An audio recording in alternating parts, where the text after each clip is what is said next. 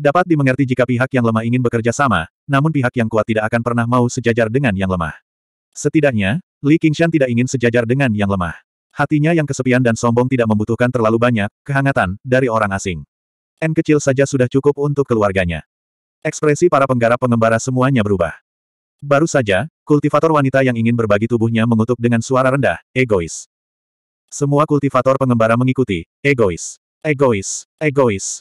Gelombang suara melonjak seperti air pasang, mengelilingi Li Qingshan. Dalam kobaran api, bayangan di dinding berputar seperti roh jahat yang hendak menerkam manusia. Li Qingshan mengambil batang besi dan menyodok apinya. Dia bertanya, apakah kamu menambahkan sesuatu ke dalam api? Pendeta Qiu sedikit terkejut. Saya tidak tahu apa yang Anda bicarakan. Li Qingshan berkata, suaramu juga sangat unik. Mengingatkanku pada beberapa hal lama. Bangunan-bangunan di kota Jiaping, nyanyian, tarian, dan dupa. Setelah pengalaman itu, jika dia terjatuh untuk kedua kalinya, dia akan menjadi idiot. Pendeta Kiyu menundukkan kepalanya. Bergabunglah dengan masyarakat pencari kebenaran kami, dan saya dapat menjadikan Anda wakil presiden. Dua praktisi kilapisan keenam ingin mengatakan sesuatu, tetapi pendeta Kiyu menghentikan mereka dengan melihat. Oh, Li King San tersenyum. Saya boleh bergabung, tapi saya ingin bertanya, selama upacara pengumpulan ramuan di tiga gunung, apakah Anda juga akan pergi ke bawah tanah? Pendeta Kiyu tersenyum. Aku sudah terlalu tua, Ola Suci. Han Xiong berkata, Presiden adalah ayah kami, harapan dunia kultivasi. Bagaimana dia bisa pergi ke tempat berbahaya seperti ini? Kami akan menemukan ramuan roh dan membawanya kembali untuk dibagikan. Dia awalnya adalah orang yang cerdas dan cakap, tetapi saat ini, ada semacam fanatisme di matanya. Apa yang dia katakan disambut dengan persetujuan. Hati Li Qingshan seperti cermin. Yang terkuat tidak bersembunyi, tetapi menunggu yang lemah mengambil risiko untuk mengumpulkan tumbuhan dan membawanya kembali ke yang kuat. Bagaimana hubungan antara ayah dan anak ini? Itu jelas merupakan hubungan antara tuan dan budak.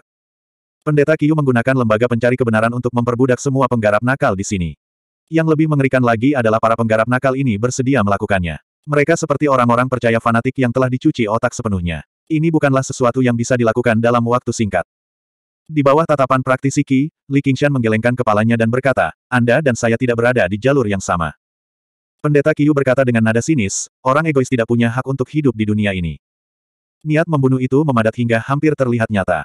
Nyala api meredup sedikit demi sedikit dan akhirnya padam. Di antara 20 praktisi Ki, ada yang kuat dan lemah. Namun, seperti yang mereka katakan, mereka adalah saudara kandung. Energi sejati mereka saling terkait, semuanya berkumpul di tubuh ayah mereka, Daois Qiu. Energi sejati Daois Qiu terus menanjak, dengan mudah menembus tingkat ke-8 hingga ke-9, lalu ke-10. Energi sejati yang menakutkan melampaui pemahaman Li Qingshan tentang praktisi Qi, dan energi itu menimpanya seperti tsunami. Gereja Suci. Ini sepertinya semacam teknik serangan gabungan yang mistis. Pantas saja mereka berani menindas Li Qingshan meskipun mereka tahu bahwa dia bisa mengalahkan praktisi Qi tingkat 6 dalam satu gerakan. Li Qingshan merasa seperti gubuk jerami di tepi pantai yang akan hancur akibat tsunami. Dia mengusap keningnya. Apakah ini yang dirasakannya? Pendeta Kiyu berkata, lihat betapa kuatnya aku. Jika kamu terus keras kepala dan menolak melepaskan keegoisanmu, hanya kematian yang menantimu. Buka hatimu dan bergabunglah dengan kami menjadi satu dengan keluarga besar, dan kamu akan menerima perlindungan keluarga besar. Saat dia mengatakan ini, 20 pembudidaya nakal juga berbicara serempak. Suara gemuruh mereka terdengar di gubuk kecil itu, seolah ingin menumpas semua pembangkang.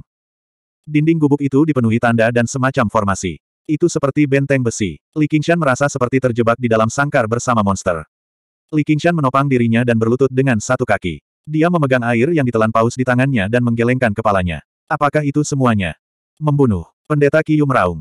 Praktisi Ki menerkam ke depan seolah-olah mereka sudah gila. Mantra, jimat roh, peralatan roh, dan segala jenis lampu warna-warni bergegas menuju Li Qingshan. Bum bum bum bum. Percikan dan kilat menyambar ke mana-mana. Arus udara yang deras meniupkan abu yang sudah padam ke udara. Pada saat debu telah menyebar, bola es telah terbentuk di tempat Li Qingshan berada. Li Qingshan meringkuk, bersembunyi di dalam bola. Dia benar-benar tidak terluka. Priest Kiyu mengangkat tangannya, dan Truki yang melonjak mengembun menjadi tangan besar yang meraih bola kristal es. Retak, retak. Bola kristal es itu tertutup retakan. Bahkan es dalam yang dibentuk oleh air kondensat es tidak dapat menahan kekuatan mengerikan dari lebih dari 20 praktisi Ki. Bola kristal es pecah, dan tangan Truki meraih Li Qingshan dan menekannya ke tanah. Li Qingshan memuntahkan seteguk darah dan bertanya, kamu tidak berencana melepaskanku sejak awal, kan? Awalnya, aku ingin mengendalikanmu sehingga aku bisa menggunakan kekuatanmu saat mengambil barang-barangmu. Aku tidak pernah berpikir kamu akan menjadi begitu tidak peka. Apakah ada hal lain yang ingin kamu katakan sekarang? Pendeta Kiyu berjalan mendekat dan melihat ke arah Li Qingshan yang tidak bisa bergerak. Dia berpuas diri seperti seorang pemenang. Li Qingshan berkata dengan acuh tak acuh, hanya itu yang kamu punya. Pendeta Qiu berkata dengan marah, matilah. Di hutan salju di samping lembah, N kecil berjongkok dengan sedih dan menggunakan dahan untuk menggambar di atas salju. Karena dia tidak memiliki keranjang bambu, Li Qingshan menyuruhnya menunggu di sini. Namun, sejak Li Qingshan memasuki rumah kecil itu, semua suara dan aura telah terputus. Hal ini membuatnya merasa sedikit tidak nyaman. Tiba-tiba, perasaan tidak nyaman ini semakin kuat tanpa alasan sama sekali. N kecil tiba-tiba berdiri dan menatap rumah kecil di kejauhan. Setelah ragu-ragu sejenak, dia hendak berjalan menuju rumah kecil itu. Namun, dia tiba-tiba merasakan sesuatu dan mundur. Dia dengan tajam mengamati sekelilingnya, dan dua tasbih jatuh dari lengan bajunya yang lebar. Mereka berguling dan berubah menjadi dua tengkorak kecil. Yang satu terbang ke langit, dan yang lainnya terbang mendekati tanah. Cahaya api berkedip-kedip di matanya, dan pandangannya langsung menjadi sangat lebar. Dia bisa melihat seluruh lembah, dan dia bisa melihat setiap helai rumput dan pohon di tanah dengan sangat detail. Keindahan luar biasa dan tulang putih, melihat menembus ilusi. Dia segera melihat selusin praktisi Ki diam-diam mendekat dari segala arah. Mereka semua menggunakan seni penyembunyian tingkat tinggi, dan sosok mereka hampir transparan.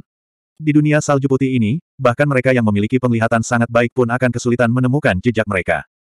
Namun, N kecil dapat melihatnya dengan sangat jelas dengan kemampuan ilahinya. Dia tidak bisa menahan panik, tapi dia tidak tahu bagaimana cara memberitahu Li Qingshan.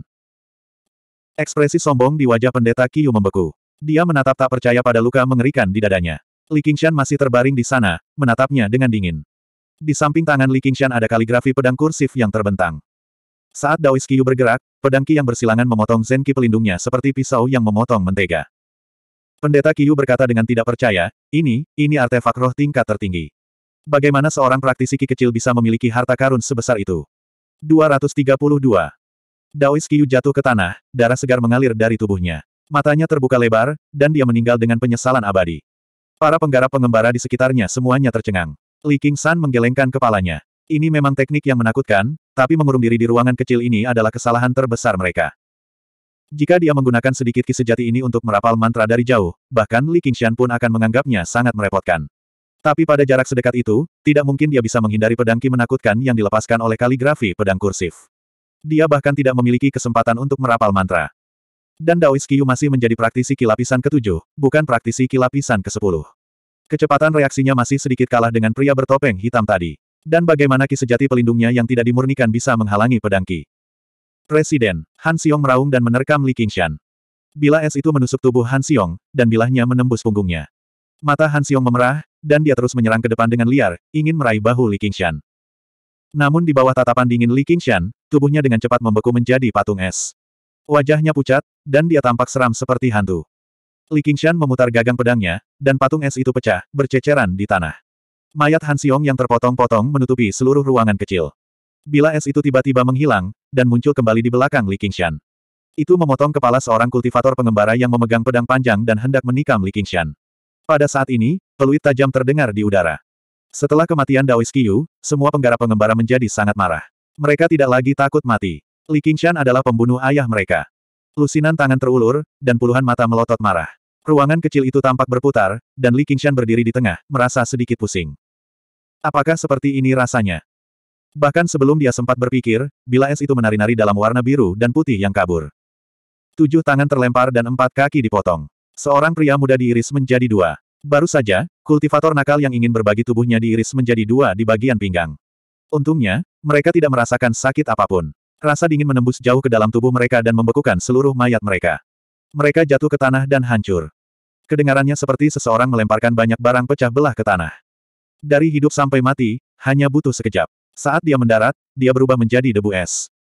Sebuah pedang terbang menembus jaring pedang dan langsung menuju ke pelipis Li Qingshan. Tanpa menoleh, Li Qingshan mengangkat tangannya dan mencubit pedang terbang itu. Pedang terbang itu bergetar seperti ular kecil, tapi tidak bisa melepaskan diri. Li Qingshan memiringkan kepalanya dan menatap mata praktisi ki lapisan keenam. Dengan lambaian tangannya, pedang terbang itu melesat tak terkendali dan tertanam jauh di dalam pintu kayu, ekor pedangnya bergetar tanpa henti. Praktisi lapisan keenam lainnya tergeletak di tanah dengan panik. Baru saja, dia ingin mengaktifkan formasi dan melarikan diri. Jika bukan karena reaksi cepatnya, dia pasti sudah tertusuk kepalanya. Keduanya adalah anggota inti dari masyarakat pencari kebenaran. Mungkin karena mereka cukup kuat sehingga tidak bisa dikendalikan. Mereka tidak segila kultivator nakal pada umumnya. Begitu pendeta Kiyu meninggal, mereka bergegas maju tanpa peduli. Yang satu ingin menyelinap menyerang, yang lain ingin melarikan diri. Tangan kiri Li Qingshan juga memegang gagang pedangnya. Sekarang dia memegangnya dengan kedua tangan, ujung bilahnya mengarah ke belakang saat dia sedikit berjongkok. Sosok Li Qingshan menghilang. Angin dingin menyapu debu es seperti naga es yang marah, menyerbu ke arah praktisi kilapisan keenam yang ingin menyelinap menyerang. Semua pembudidaya nakal yang menghalangi jalur naga es dihancurkan dan diubah menjadi bagian dari debu es. Praktisi kilapisan keenam terkejut. Dia bereaksi dengan cepat dan mengeluarkan jimat api merah bermutu tinggi untuk mengaktifkannya. Dia berteriak, matilah. Praktisi kilapisan keenam di pintu berteriak, tidak. Jimat api merah itu telah menyemburkan api yang menyerupai nafas naga api. Naga es dan naga api bertabrakan. Ledakan. Sebuah ledakan keras mengguncang seluruh lembah. Aula suci. Atap gubuk terpencil di lembah terangkat beberapa kaki akibat gelombang kejut dan hancur berkeping-keping di udara. Kepulan asap putih mengepul dari gubuk. Karena susunannya, gubuk tersebut masih mempertahankan struktur aslinya, namun hangus hitam di mana-mana. Selusin sosok yang diam-diam berkumpul di sekitar buru-buru berjongkok dan memandangi rumah kecil tidak jauh dari sana dengan kaget, tidak tahu apa yang telah terjadi. N kecil menghela nafas lega. Dia sudah merasakan aura Li Qingshan. Bila air yang ditelan paus di tangan Li Qingshan telah berubah menjadi bentuk yang aneh. Ujung bilahnya memanjang ke segala arah, membentuk bola es besar yang menutupi Li Qingshan. Meski sangat tipis, itu cukup untuk memblokir ledakan jimat api merah.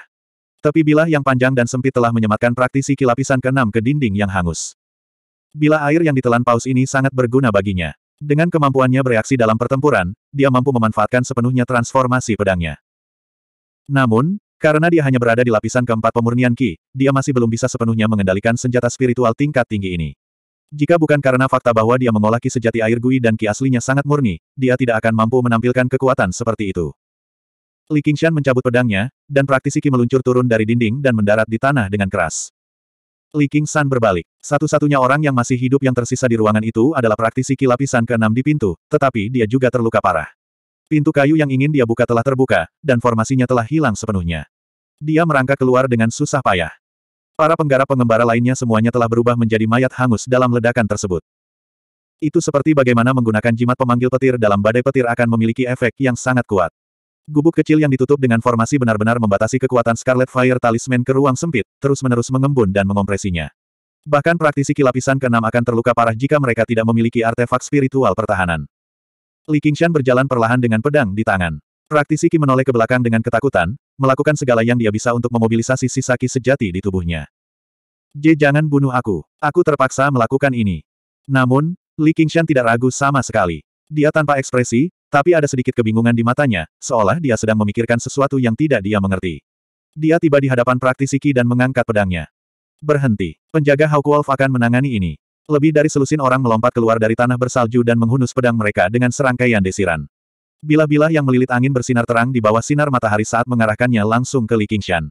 Sembilan bilah terbang Wolf Fang melayang di udara, siap menyerang. Teknik tembus pandang telah kehilangan efeknya, memperlihatkan seragam hitam penjaga Hawk Wolf mereka. Masing-masing dari mereka adalah seorang komandan. Pria yang memimpin mengenakan pakaian merah, tapi dia adalah serigala merah. Dia tidak membawa pisau. Sebaliknya, rantai tipis melilitnya, berkedip-kedip dengan cahaya. Ark, dengan pekikan singkat yang menyedihkan, Li Qingshan mengangkat pedangnya dan mengayunkannya ke bawah. Kepala praktisi Ki berguling menuruni tangga gubuk. Beraninya kamu, pria berpakaian merah menjadi geram. Rantai di tangannya segera menebal dan memanjang, menjangkau lurus keluar dengan suara gemerincing. Ujung rantai berubah menjadi kepala ular, menggigit Li Qingshan. Li Qingshan memiringkan kepalanya sedikit dan menghindari kepala ular itu, tetapi rantainya tiba-tiba berputar di udara. Mereka berputar-putar beberapa kali sebelum tiba-tiba mengencang, melingkari Li Qingshan. Kepala ular itu menggigit bahu Li Qingshan dengan kuat. Ki sejati air gui Li Qingshan segera tampak membeku, tidak dapat bersirkulasi sama sekali. Pria berpakaian merah bersuka cita di dalam, dan seringai muncul di bibirnya. Rantai pembatas piton miliknya adalah artefak spiritual tingkat tinggi yang dia peroleh setelah menjalankan entah berapa banyak misi dan berapa banyak kontribusi yang telah dia peroleh.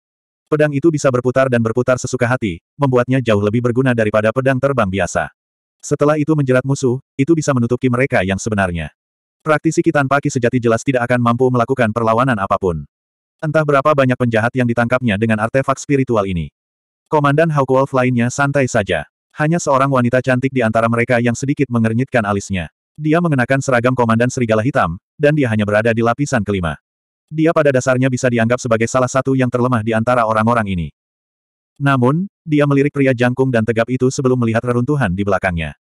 Wajahnya dipenuhi keraguan. Menurut petunjuknya, sisa dari Sekte Teratai Putih, Kiur Wiliu, seharusnya ada di sana. Seharusnya ada beberapa lusin petani mandiri di sekitarnya juga. Kiur Wiliu hanya berada di lapisan ketujuh, namun ia mampu membuat penjaga serigala merah di kota prefektur mengirimkan serigala merah dan mengerahkan semua komandan di penjaga Hawkwolf terdekat untuk membantunya. Meskipun Sekte Teratai Putih adalah musuh bebuyutan semua penjaga Hawkwolf di Komando Rui, Qiyu Ruiliu tidak mudah untuk dihadapi karena para petinggi sudah banyak melakukan mobilisasi.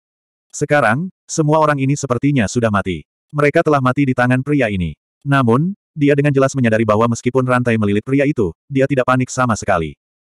Ke sini, pria berpakaian merah menarik rantai pembatas piton. Rantainya menjadi kencang, tapi dia langsung terpana. Li Qingshan tidak bergeming sama sekali. Ke sini, Li Qingshan meraih rantai itu dan menariknya dengan kuat. Pria berpakaian merah merasakan kekuatan yang tak tertahankan melewati rantai itu.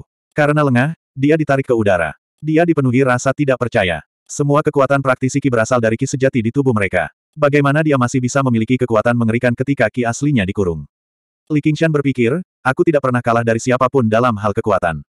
Tapi, kenapa ada penjaga Hawk Wolf di sini? Apakah mereka sudah mengetahui identitasku dan ingin menerimaku kembali? Tatapannya melewati selusin penjaga Hawk Wolf sebelum tiba-tiba berhenti pada wanita cantik itu. Dia berpikir, Kian Rongzi. Dia tidak pernah mengira dia akan datang juga, tapi dia sepertinya tidak mengenalinya. Itu berarti mereka tidak datang untuk menangkapnya, jadi dia sedikit menenangkan diri. Selain Kian Rongzi, semua komandan lainnya tercengang. Wu Gen hanyalah seorang penjaga serigala merah dan bukan seorang komandan, tapi dia masih setengah level lebih tinggi dari mereka, yang semuanya adalah komandan besi hitam. Dia juga jauh lebih kuat, setelah mencapai lapisan ke-8. Artefak spiritual tingkat tinggi di tangannya, rantai pembatas piton, membuat mereka iri juga. Mereka tidak pernah mengira akan gagal menahan kultivator independen tak dikenal ini dalam satu pukulan. Sekarang, mereka segera membantunya. Bilah terbang melesat. Bahkan jika mereka tidak bisa mengendalikan pedang terbang, mereka tetap bergegas bersamanya. Kian Rongzi berkata, hati-hati. Orang ini dilahirkan dengan kekuatan luar biasa. Dia bahkan mungkin seorang praktisi tubuh. 233. Pikirannya kacau. Li Qingshan segera merasakan tubuhnya menegang. Dia meronta, tapi rantainya tidak bergerak sama sekali. Dia tahu bahwa dengan kekuatannya saat ini, dia pasti tidak bisa melepaskan diri dari artefak spiritual tingkat tinggi kecuali dia melakukan daemonifikasi. Dalam sekejap mata, sembilan pisau terbang bersilangan dan menyerangnya. Waktu sepertinya melambat. Pisau terbang itu berputar perlahan, menghasilkan getaran yang menusuk telinga. Itu direntangkan menjadi sebuah catatan panjang. Matanya yang jernih memantulkan ujung pisaunya. Jaraknya hanya setengah kaki. Li Qingshan ambruk telentang, dan pisau terbang itu melewati wajahnya. Desir, desir, desir. Pisau-pisau terbang itu terseret bersamanya, meliuk-liuk di atas kepalanya. Jika itu adalah senjata tersembunyi, maka Li Qingshan akan selamat, tetapi ini adalah artefak spiritual yang digunakan oleh praktisi ki lapisan ke-6. Pisau terbang itu berhenti di atas kepala Li Qingshan pada saat yang bersamaan. Mereka berbalik dan jatuh. Li Qingshan berguling-guling di tanah. Berdebar, berdebar, berdebar, berdebar. Pisau terbang itu menusuk ke tanah yang baru saja dia terguling, membuatnya semakin dalam bahaya. Ekspresinya masih sangat tenang, namun kebingungan di matanya tampak semakin dalam. Apakah ini bahaya yang dia rasakan? Kenapa dia ada di sini? Dan kenapa dia dikelilingi oleh orang-orang ini? Dia telah dikhianati, diburu, dipaksa, dan dikepung. Segala sesuatu yang semula sangat jelas kini menjadi rumit, berantakan. Pikirannya berpacu, tapi dia tidak berhenti sama sekali. Dia sudah mengarahkan air yang ditelan paus ke rantai dan menyemprotkan air kondensat es. Dengan bagian terakhir dari kisejati air gui, dia membekukan lapisan es tebal di atasnya. Li Qingshan mundur. Pada saat rantai itu menghancurkan es, dia sudah melarikan diri. Ki sejatinya segera mulai beredar kembali. Dia dengan paksa memutar tubuhnya dan menghindari pisau terbang selebar rambut lagi, mundur ke dalam gubuk dengan cepat. Gubuk itu tidak terbuat dari kayu biasa. Meskipun formasinya telah dihancurkan, formasi itu masih sekuat logam, sehingga dia bisa bersembunyi untuk sementara. Penelanan air oleh paus memuntahkan bilah kristal. Li Qingshan mengerutkan kening dan membentak, bisakah penjaga Hawkwolf memperlakukan kehidupan manusia seperti rumput? Wu Gen terkejut. Dia tidak berpikir bahwa seseorang akan dapat melarikan diri dari rantai pembatas piton miliknya. Melihat alat roh di tangan Li Qingshan, matanya bersinar. Dia mengangkat tangannya dan berkata, berhenti menyerang dan kelilingi dia. Para penjaga Hawk Wolf segera mematuhi perintah dan terbang mengelilingi gubuk. Wu Gen kemudian berkata, kami di sini untuk menangkap sisa kejahatan dari Sekte Teratai Putih, Qiyu Ruiliu. Saya melihat bahwa Anda adalah salah satu dari sisa kejahatan dari Sekte Teratai Putih, dan Anda masih berani menolak penangkapan. Anda benar-benar tidak tidak tahu kehidupan dari kematian. Li Qingshan tidak menyangka pendeta Qiyu memiliki latar belakang seperti itu. Sekarang dia memikirkannya, cara dia berbicara sepertinya dia berasal dari aliran sesat. Qiyu Ruiliu, apakah Anda berbicara tentang seorang tahu kecil yang kurus? Dia telah dibunuh olehku. Anda mengatakan bahwa saya adalah sisa dari Sekte Teratai Putih, tetapi bukti apa yang Anda miliki? Para penjaga Hawk Wolf terkejut. Target mereka kali ini sebenarnya sudah mati. Apakah ini benar? Kamu pikir kamu bisa membunuh anggota Sekte Teratai Putih sendirian? Saya tidak percaya kamu. Apakah Anda punya bukti atau tidak, kami akan mengetahuinya setelah kami menyelidikinya. Jika kamu menyerah sekarang, kamu masih bisa mempertahankan hidupmu. Penjaga Hawkwolf kami tidak akan pernah salah menuduh orang yang tidak bersalah. Kami akan menyelidiki ini secara menyeluruh, dan jelas kami akan melepaskan Anda. Ugen berkata bahwa dia tidak mempercayainya, namun hatinya sedikit yakin. Ini hanyalah sesuatu yang tidak dapat dihindari oleh praktisi ki biasa dari pengepungan mereka. Jelas akan lebih baik jika dia bisa mengakali musuh seperti itu. Dia akan menggunakan otoritas penjaga Hawkwolf untuk menakutinya terlebih dahulu, dan begitu dia ditangkap, dia akan berada di bawah kekuasaan mereka. Entah sudah berapa kali dia melakukan hal seperti ini. Li Qingshan berkata, lelucon yang luar biasa. Kita semua adalah praktisi Qi, jadi mengapa kita mempercayakan hidup kita kepada orang lain? U Gen mencibir. Kalau begitu, tidak ada lagi yang perlu dikatakan. Tangkap dia. Dia menolak untuk percaya bahwa mereka tidak dapat menangkapnya dengan begitu banyak orang. Tunggu. U Gen berbalik dengan cemberut. Hanya ketika dia melihat bahwa itu adalah Qian Rongzi, ekspresinya sedikit mereda. Rongzi, apa yang ingin kamu katakan untuk dirimu sendiri? Tuan, bukankah Naitao kita ada di dekat sini? Kita bisa membuatnya mengidentifikasinya. Dengan begitu, jika kita salah menangkap orang, itu akan berdampak buruk, kata Qian Rongzi dengan sedikit khawatir. Wu Gen mengerutkan keningnya. Wanita akan selalu menjadi wanita. Mereka masih berhati lembut. Orang ini jelas cukup kaya. Jika mereka menangkapnya terlebih dahulu dan menanyakan asal-usulnya, maka jika dia tidak berasal dari sekte kuat mana pun, mereka bisa saja membunuhnya di masyarakat pencari kebenaran. Bukankah itu lebih baik? Namun, dia jelas tidak bisa mengatakan hal seperti itu di depan begitu banyak komandan, jadi dia tenggelam dalam pikirannya. Kakak senior, Rongzi benar. Mari kita selesaikan masalah ini. Kita tidak bisa membiarkan orang baik jatuh cinta pada kita. Kata seorang pria muda berwajah persegi di samping Kian Rongzi. Saat itulah Wu Gen akhirnya mengangguk. Baiklah, Kirimkan sinyalnya dan suruh dia datang.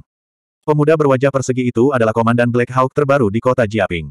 Sama seperti Wu Gen, dia berasal dari seratus aliran pemikiran, itulah sebabnya dia menyebutnya sebagai kakak senior. Dibandingkan dengan Komandan Black Hawk lainnya, dia jauh lebih muda. Bakatnya bisa dibilang luar biasa, jadi meningkatkan budidayanya beberapa lapisan lagi tidaklah sulit. Setelah beberapa tahun berlatih di bawah, dia jelas akan dipindahkan kembali ke prefektur Clear River dan dipromosikan menjadi tembaga merah. Ditambah dengan persahabatan mereka selama bertahun-tahun, Wu Gen jelas lebih menghargai pendapatnya. Dia tidak akan membantahnya dengan mudah. Tak lama kemudian, penjaga serigala hitam muncul dari hutan. Dia membungkuk ke segala arah. Saya Zhou Pei. Salam untuk semuanya. Pemuda berwajah persegi itu berkata, Zhou Pei, apakah kamu mengenali orang ini? Pria kekar di sana, keluar dan biarkan dia mengenalimu. Li Qingshan merasa suara itu familiar, tetapi dia tidak dapat mengingat di mana dia pernah mendengarnya sebelumnya. Dia tiba di pintu masuk dalam sekejap dan menatap mata penjaga serigala hitam. Keduanya berkata secara bersamaan. Zhu Wei, tidak, Juxia. Zhou Pei ini adalah praktisi Ki Zhou Wei yang tidak suka banyak bicara di sisi Han Xiong saat pertama kali bertemu dengannya. Dia tidak pernah berpikir dia benar-benar akan menjadi Talk. Yang disebut Talk adalah elang yang tidak pernah melihat cahaya siang hari. Itu adalah posisi yang sangat istimewa dalam penjaga Hawk Wolf. Mereka akan menyusup ke berbagai organisasi dengan identitas berbeda dan mengumpulkan informasi. Jaringan informasi di dunia manusia dapat dibangun dengan menyuap beberapa orang Jianghu. Namun membangun jaringan seperti itu dalam dunia budidaya membutuhkan para penggarap.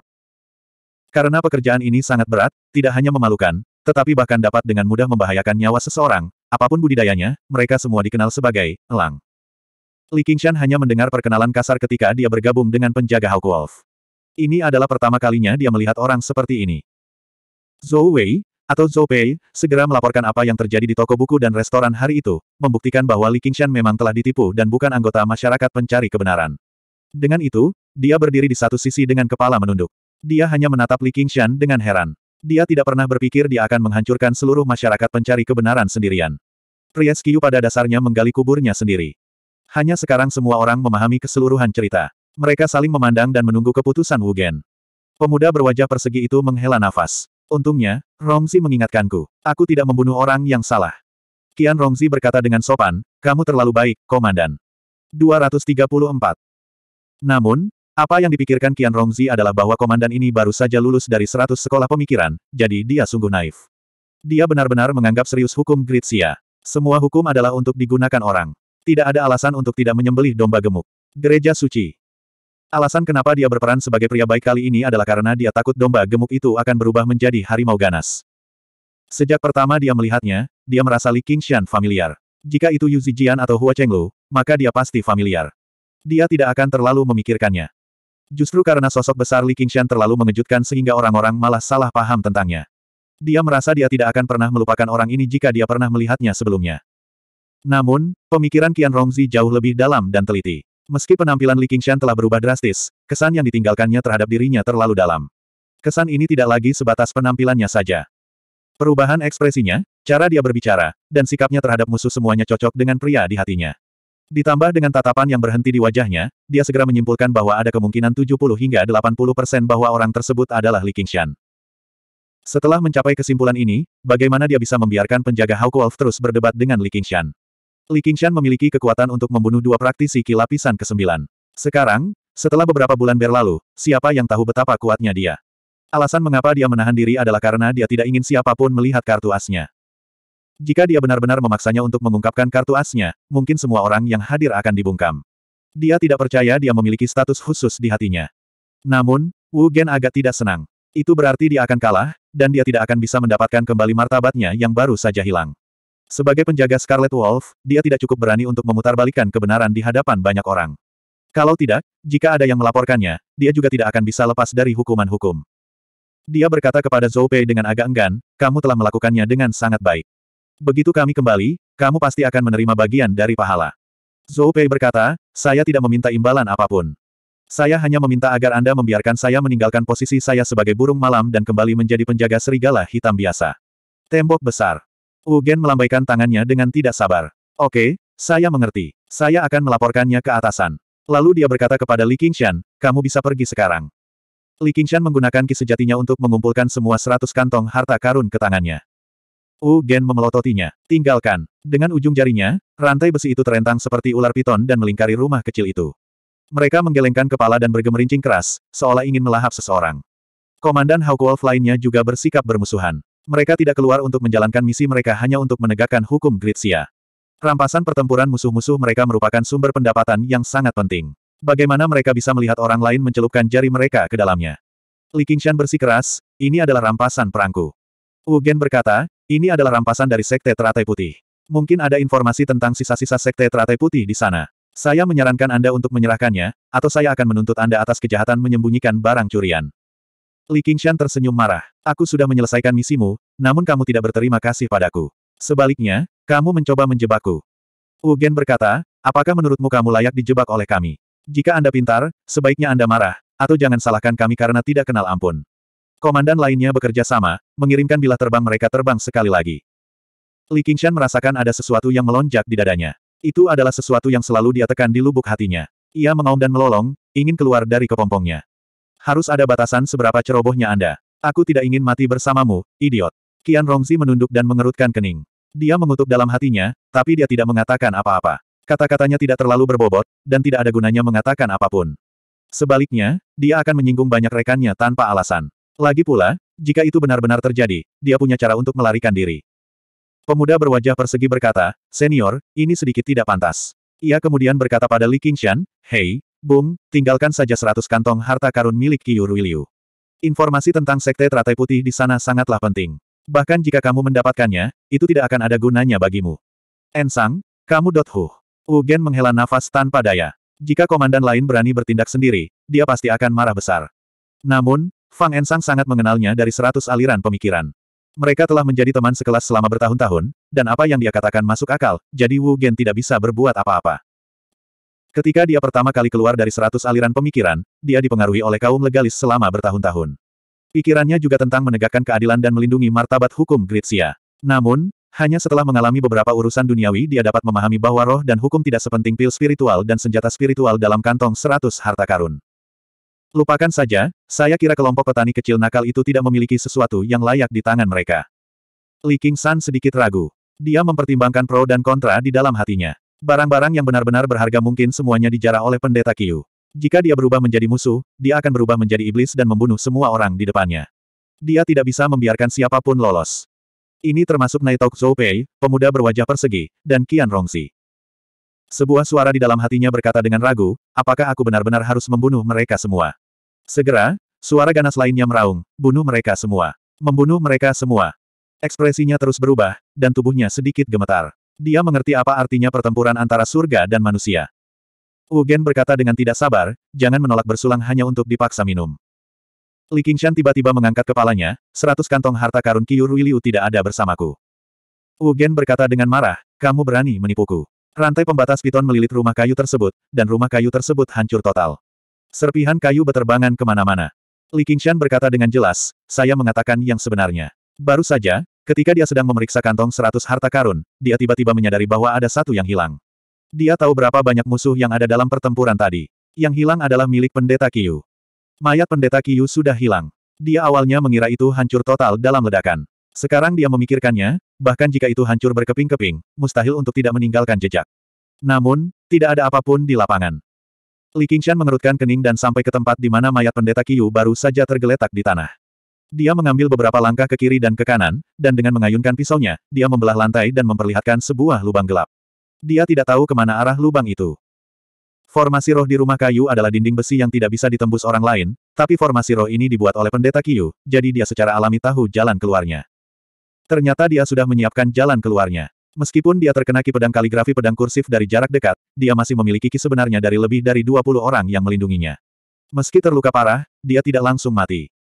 Dia tahu bahwa dia bukanlah lawan Li Qingshan, jadi dia hanya berbaring di tanah, menutup napas, dan berpura-pura mati.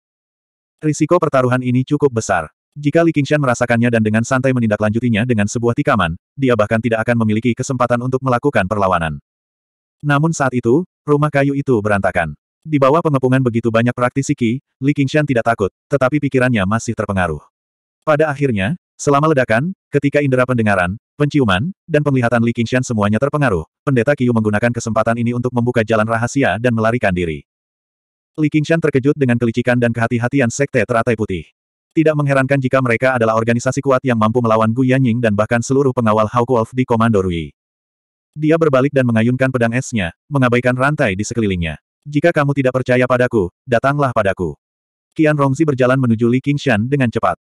Fang Ensang mengulurkan tangannya. Jangan pergi. Dia ingin menghentikan Qian Rongzi, tapi dia takut dia akan membuat Li Qingshan khawatir jika dia bertindak gegabah. Para penjaga Hawk Wolf berkeringat demikian Rongzi. Pria yang kejam dan besar ini sangat kuat. Jika dia benar-benar menyerang seseorang, Qian Rongzi mungkin akan mati di tempat. Di bawah tatapan semua orang, Qian Rongzi melewati Li Qingshan dan memeriksa lubang di tengah rumah. Li Qingshan mengerutkan kening. Wanita ini bukanlah seseorang yang mau mengambil risiko sebesar itu demi urusan resmi. Apakah dia menemukan sesuatu? Qian Rongzi bahkan tidak meliriknya. Setelah memeriksanya dengan cermat, dia mengangkat kepalanya dan berkata, dia benar. Ada jejak kaki baru di bawah sana. Qiu Ruiliu sudah melarikan diri. Dia pasti terluka. Tuan, ayo cepat dan lacak dia. Jika kita menunda lebih lama lagi, dia akan bisa melarikan diri. Semua penjaga Hawk Wolf menghela nafas lega. Kesimpulan ini sesuai dengan harapan mereka. Qiu Ruiliu sangat licik. Dia telah gagal beberapa kali dalam pengepungan, jadi bagaimana seorang kultivator independen bisa membunuhnya dengan mudah. Mereka bahkan sedikit mengagumi Qian Rongxi. Tingkat kultivasi wanita ini tidak terlalu tinggi, namun keberaniannya luar biasa. Paling tidak, tidak ada satupun dari mereka yang berani mendekatinya seperti itu. Bahkan Wu Gen mengangguk memuji. Dengan dukungan orang seperti itu, Ensang akan mudah menjadi komandan Black Hawk. Dia tidak akan tetap naif. Dia tidak tahu bahwa kenaifan Fang Ensang telah menyelamatkannya dari kematian, sementara apa yang disebut keberanian Qian Rongzi dibangun berdasarkan perencanaan yang cermat. Wu Gen memahami betapa parahnya situasi ini. Dia menyimpan rantai piton konstriktor dan terbang ke dalam lubang terlebih dahulu, melewati Li Qingshan. Dia mendengus dingin. Anggaplah dirimu beruntung. Lebih dari selusin penjaga Hawk Wolf memasuki lubang satu persatu. Qian Rongzi adalah yang terakhir. Dia melirik Li Qingshan dan tersenyum sebelum menghilang ke dalam lubang juga. Beberapa saat kemudian, lembah Quiet Spring kembali tenang. Li Qingshan menuruni tangga dan duduk di atasnya. Dia bersandar pada tangannya dan tenggelam dalam pikirannya. Hasil akhir dari pertarungan antara manusia dan alam kali ini adalah berhenti di situ. Namun, pertarungan yang lebih besar antara manusia dan alam terjadi di dalam pikirannya. Itulah batas antara manusia, abadi, Buddha, dan iblis. Konflik yang sebenarnya bukan berasal dari dunia luar, melainkan dari dalam diri sendiri. Itu adalah serangkaian pertanyaan yang tidak bisa dia jawab, sebuah jawaban yang tidak bisa dia pilih. Namun, pasti ada jawabannya. Tidak semua pertanyaan bisa dihindari. Dia tidak bisa menghindarinya, dia juga tidak ingin menghindarinya. Meskipun tidak ada jawaban yang diinginkannya, dia tetap harus menentukan pilihan. Hidup bukanlah tentang melakukan apa yang Anda inginkan. Ini bukan tentang melakukan apa yang Anda suka. Justru melalui pilihan-pilihan yang sulit, atau bahkan menyakitkan, inilah orang dapat bertumbuh, dari seorang anak yang tidak tahu apa-apa menjadi orang seperti apa yang mereka inginkan. Apakah kamu siap? Hehe, akhirnya aku menemukanmu. 235. Li Qingshan menghela nafas dengan lembut dan berdiri dengan tangan di atas lutut. Ia seperti seorang petinju yang belum pulih dari pertandingan sebelumnya sebelum dipaksa masuk ring lain. Itu. Namun, tidak ada rasa takut sama sekali di matanya. Pasti ini dia. Sebelum dia menyadarinya, salju sudah mulai turun lagi. Sosok-sosok yang berkelap-kelip melewati tirai salju. Jubah sutra mewah mereka berkibar tertiup angin, tapi tidak meninggalkan satupun bekas di salju. Mereka seperti hantu di salju. Para hantu memandang Li Qingshan seperti pemburu yang telah menemukan mangsanya. Mereka merasa nyaman. Jika mereka sedikit berhati-hati, itu karena mereka khawatir mangsanya akan kabur. Kakak laki-laki pertama, menunjuk ke arah Li Qingshan dan bertanya, adik laki-laki Song, apakah ini orang yang kamu cari? Song Ming berkata dengan kesal, kakak pertama, itu dia. Praktisi ki lapisan keempat. Kakak laki-laki pertama mengerutkan bibirnya dengan sangat meremehkan. Song Ming, bukankah kamu terlalu tidak berguna? Kamu adalah praktisi ki lapisan keenam, namun kamu sebenarnya telah dikalahkan oleh seseorang yang lebih lemah darimu. Dan awalnya aku mengira dia adalah orang yang kuat. Para murid Gunung Visions Grace tertawa terbahak-bahak. Mereka hanya merasa lebih santai dan bahagia. Mereka sama sekali tidak menganggap serius Li Qingshan. Wajah Song Ming memerah. Kakak pertama, Tingkat kultivasinya sebagai praktisi Ki tidak bagus, tapi dia adalah ahli dalam praktisi tubuh. Dia menerima serangan telapak tangan dariku dan keluar tanpa cedera. Kamu tidak boleh gegabah. Li Qingshan menutup matanya dan merasakan. Praktisi kilapisan ke-9, dua praktisi kilapisan ke-8, lima praktisi kilapisan ke-7, dan sepuluh praktisi kilapisan ke-6. Apakah ini kekuatan sebuah sekte? Hanya dengan melakukan daemonifikasi dia bisa melawan mereka, tapi kemungkinan besar dia akan mengalahkan senior mereka jika dia bertarung di sini. Lihat, Orang ini menutup matanya. Apakah dia sudah pasrah dengan nasibnya? Seorang murid dari Gunung Visions Grace tersenyum. Bahkan sebelum dia selesai berbicara, kabut tebal muncul, bergelombang seperti ombak. Li Qingshan berbalik dan menghilang ke dalam kabut. Itu. Oh tidak, itu jimat kabut. Dia mencoba melarikan diri. Song Ming berteriak.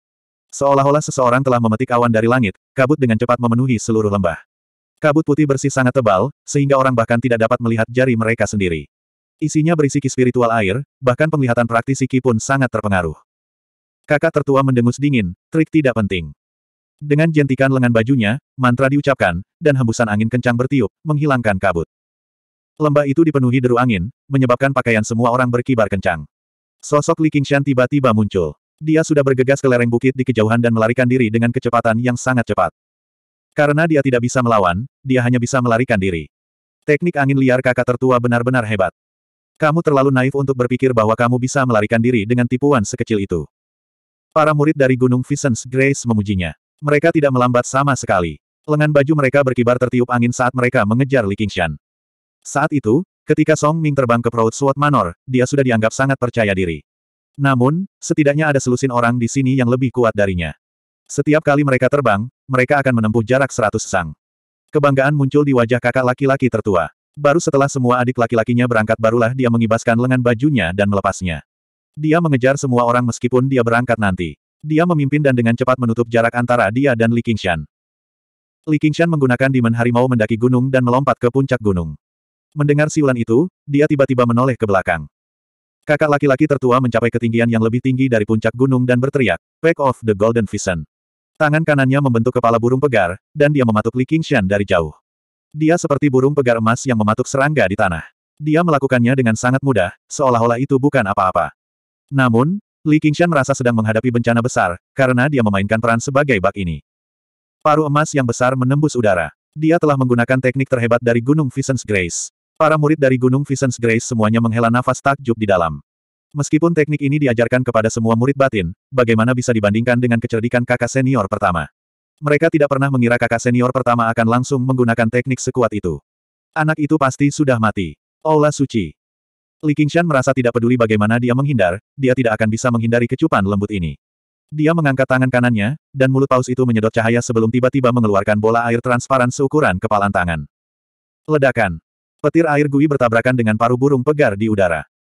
Lingkaran cahaya meletus, dan angin kencang menghancurkan hutan, membentuk pemandangan gandum. Kakak senior pertama berseru, petir air gui. Ki aslinya melonjak dan membubarkan gelombang udara yang masuk, tapi dia juga sedikit melambat. Bagaimana mungkin praktisi ki lapisan keempat bisa menggunakan petir air gui? Tiba-tiba, dia menyadari artefak spiritual di tangan Li Qingshan dan menyadari. Artefak spiritual tingkat tinggi, Song Ming benar. Anak ini benar-benar sangat kaya. Dia adalah mangsa yang layak diburu. Namun, para murid di lapangan tidak sesantai dia. Beberapa dari mereka tertiup angin liar karena budidaya yang tidak memadai. Mereka hanya bisa menelan kata-kata sanjungan yang hendak mereka ucapkan. Wajah mereka dipenuhi keterkejutan. Bagaimana praktisi kilapisan keempat bisa memblokir Pack of the Golden Vision milik kakak laki-laki pertama? Hanya Song Ming yang berseru, sudah kubilang. Orang ini tidak mudah untuk dihadapi. Dia benar-benar merasakan kegembiraan. Sebaliknya, dia berharap Li Qingshan dapat menggunakan beberapa gerakan yang lebih kuat dan bertahan lebih lama melawan kakak laki-laki pertamanya. Itu akan membuktikan bahwa dia tidak berguna saat itu. Sebaliknya, musuh terlalu kuat. Li Qingshan menggunakan waktu ini untuk melompat dari puncak gunung. Kepalanya berada di bawah kakinya, dan dunia terbalik. Angin dingin bersiul melewati wajahnya. Dia mengeluarkan peta mental bawah tanah dan membukanya dengan kedua tangan, membacanya di udara. Pintu masuk terdekat ke gua bawah tanah hanya berjarak 30 li, di bawah puncak gunung. Jika berada di dataran, jarak 30 li hanya tinggal menunggu waktu, namun di pegunungan, setiap beberapa li berarti mereka harus melintasi gunung. Meskipun ini masih merupakan sisa dari pegunungan tanpa batas dan belum benar-benar memasuki kedalamannya, pegunungan tersebut tinggi dan megah. Mereka tidak dapat diukur dengan akal sehat. Salah satu dari gunung-gunung ini dapat dianggap sebagai gunung terkenal di bumi dari kehidupan masa lalu Li Qingshan. Bahkan dengan iblis harimau mendaki pegunungan, kecepatan Li Qingshan sangat terpengaruh. Dia dengan santai menempelkan jimat Swift Breeze kelas menengah pada dirinya sendiri, yang membuatnya bergerak sedikit lebih cepat. Pepohonan yang layu sepertinya terbanting ke arahnya, tapi meski dengan itu, dia tidak mampu memperlebar jarak di antara mereka. Setiap kali dia melihat ke belakang, praktisi kilapisan kesembilan akan semakin dekat. Namun, dia tidak khawatir. Yang dia pikirkan bukan sekedar melarikan diri. Kakak laki-laki pertama juga sangat terkejut. Praktisi kilapisan keempat sebenarnya bisa meletus dengan kecepatan seperti itu. Dia menggunakan burung pegar emas mengepakkan sayapnya dan menghabiskan sebagian besar waktunya meluncur di udara, tidak terpengaruh oleh medan, namun dia masih tidak dapat mengejar ketinggalan dengan segera. Kultivator mandiri ini sungguh tidak mudah untuk dihadapi. Keduanya melintasi pegunungan dan secara bertahap menjauh dari murid-murid di belakang mereka.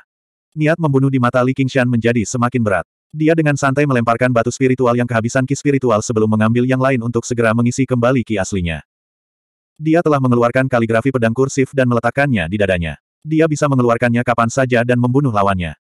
Li Qingshan berbalik dan melirik ke arah, kakak senior pertama, yang berjarak kurang dari 300 meter darinya. Namun, dia melihat melewati kakak laki-laki pertama, menatap ke langit yang lebih tinggi. Langit sudah gelap, dan salju memenuhi udara. Selain dia, tidak ada seorang pun yang memperhatikan bintang merah yang berkedip cepat di langit. N kecil berdiri di atas tengkorak besar, menyeret ekor api merah di belakangnya saat dia melewati badai salju. Jubah dan rambut panjangnya berkibar tertiup angin saat cahaya merah berkedip di matanya. Tatapannya menembus badai salju, menatap pegunungan. Malam bersalju seperti ini, daerah pegunungan seperti ini, dan pemandangan seperti ini semuanya terasa familiar. Tanpa disadari, satu tahun telah berlalu. Namun, kali ini, dia tidak akan selemah sebelumnya. Dia tidak perlu menonton tanpa daya saat dia pergi sendirian dengan putus asa. Kali ini, dia pasti akan membantunya. Yang harus dia lakukan hanyalah menunggu dia memberi sinyal untuk menyerang. Li Qingshan berpikir dalam hati, sedikit lebih jauh, sedikit lebih jauh. Kakak laki-laki pertama tidak tahu bahwa dia telah jatuh ke dalam perangkap di mana dunia berpotongan. Peran pemburu dan mangsa diam-diam telah bertukar. Dia tidak pernah membayangkan bahwa praktisi kilapisan keempat dapat membahayakan dirinya sama sekali. Sekali lagi, Li Qingshan mendaki ke puncak gunung yang tinggi. Kakak senior pertama mengambil kesempatan ini untuk menutup jarak antara mereka hingga 300 kaki. Ekspresi kegembiraan muncul di wajahnya saat dia mengangkat tangan kanannya. Cahaya keemasan memancar, menembus badai salju dan meninggalkan garis lurus keemasan di belakangnya. Li Qingshan merasakan bahayanya. Dia tidak punya waktu untuk berbalik, jadi dia memegang bila es di belakangnya. Dengan bunyi, ding, cahaya keemasan menembus jauh ke dalam bila es. Urliku Li Qingshan bergetar hebat. Baru saja, dia dapat melihat dengan jelas bahwa cahaya keemasan itu adalah bulu emas. Es mistik yang dibekukan oleh air kondensat es sama kerasnya dengan senjata spiritual kelas atas. Namun, ia tertusuk oleh bulu kecil ini. Kekuatannya bahkan lebih besar daripada jarum benang merah milik nenek Simen. Ki dan mantra pelindung akan sangat rapuh seperti selembar kertas. Bahkan jika itu adalah senjata spiritual pertahanan, jika itu bukan senjata kelas atas, itu mungkin akan tertembus dalam satu pukulan. Kakak laki-laki pertama menjadi lebih terkejut. Dia melihat bagaimana Pack of the Golden Vision tidak bisa membunuh Li Qingshan, jadi dia pasti tidak akan menggunakannya untuk kedua kalinya. Dia beralih menggunakan artefak spiritual yang menjadi penopang hidupnya, bulu burung pegar emas. Namun, dia tidak pernah mengira itu akan terhalang oleh bila es. Bulu burung pegar emas bukanlah artefak spiritual tingkat tinggi biasa. Sebaliknya, itu adalah artefak spiritual yang mulai dipelihara oleh para murid Gunung Visions Grace sejak mereka mulai berlatih ki. Mereka terus-menerus menuangkan ki mereka yang sebenarnya ke dalamnya, dan setiap kali budidaya mereka meningkat, mereka akan menambahkan esensi emas untuk menempanya. Baru pada saat itulah mereka berhasil menempa satu bulu burung pegar emas. Jumlah upaya yang mereka lakukan tidak terhitung. Namun, kekuatannya sangat besar, dan hanya bisa digunakan oleh pengguna sekte tersebut. Li Qingshan tidak melompat ke lembah yang gelap gulita. Sebaliknya, dia berhenti dan berbalik. Bila es di tangannya dengan cepat berubah bentuk, membungkus bulu burung pegar emas dan mengubahnya menjadi bongkahan es besar. Kakak laki-laki pertama berdiri di puncak pohon pinus, yang bergoyang tertiup angin dan salju. Dia mencibir. Kamu tidak berlari lagi. Dia melihat sekeliling. Ini benar-benar tempat yang bagus untuk dikuburkan. Dia sama sekali tidak peduli dengan apa yang dilakukan Li Qingshan. Li Qingshan berkata, saya akan mengembalikan apa yang Anda katakan. Dia sudah menyemprotkan semua air kondensat es, membungkus bulu burung pegar emas menjadi sebuah bola. Dia menginjaknya. Kakak laki-laki pertama mendengus dingin. Keras kepala dan keras kepala. Anda masih menggunakan trik kecil ini. Saya akan menunjukkan kepada Anda kekuatan Gunung Visions Grace. Cahaya burung pegar emas. Bulu burung pegar emas meletus dengan cahaya yang menyilaukan, menyinari bola es sepenuhnya dan mengubahnya menjadi emas. Itu adalah pemandangan yang indah. Namun, Li Qingshan dapat merasakan bahwa es itu mencair dengan cepat, seolah-olah ditekan oleh kekuatan bulu burung pegar emas. Ia tidak mampu menjebak bulu burung pegar emas. Kakak laki-laki pertama terjun ke bawah. Jadilah lebih pintar di kehidupanmu selanjutnya. Jangan menyinggung murid-murid Gunung Anugerah Burung Pegar. 236. Kaligrafi pedang kursif terbuka dengan suara mendesing, dan kakak senior pertama dapat dengan jelas melihat tulisan tangan yang rumit dan mendalam di atasnya. Itu jelas merupakan tinta di atas kertas, tapi sangat tajam hingga seolah-olah diukir di tebing dengan pedang. Aula suci. Perasaan bahaya yang besar memenuhi hatinya. Suara badai salju sepertinya sudah berhenti. Dibandingkan dengan kecepatan pedang Ki, kecepatan kepingan salju yang menari seperti gambar diam. Murid kakak senior pertama mengerut. Dia melambaikan tangannya, dan bulu burung pegar emas membesar seratus kali lipat, melindungi tubuhnya seperti dinding besi. Dentang, dentang, dentang, dentang. Suara benturan logam terdengar, dan pedangki yang melonjak membuat kakak senior pertama terbang ke langit. Kakak senior pertama melayang di udara di atas bulu burung pegar emas, seperti perahu kecil di lautan yang bergejolak, terancam terbalik setiap saat. Namun, dia mengikuti arus dan benar-benar membentuk keseimbangan yang menakjubkan. Dia melayang dan bergoyang tanpa terpengaruh oleh kekuatan apa pun. Bulu burung pegar emas tidak hanya mampu menyerang dan bertahan, namun metode bertahannya juga paling alami dan tidak terkendali yang pernah dilihat Li Qingshan. Sebuah sekte yang bisa membentuk gayanya sendiri memang tidak bisa dianggap remeh. Ki sejati air gui di tubuh Li Qingshan melonjak dengan cepat ke dalam kaligrafi pedang kursif, mengaktifkan pukulan pedang Ki. Pada saat yang sama, dia memegang batu roh di satu tangan dan terus-menerus mengisi kembali kirohnya. Dalam sekejap mata, tiga batu roh telah dilemparkan ke kaki Li Qingshan. Artefak spiritual tingkat tertinggi. Anda sebenarnya memiliki artefak spiritual tingkat tertinggi. Kakak senior pertama berdiri di atas bulu burung pegar emas dan berteriak di tengah angin dan salju.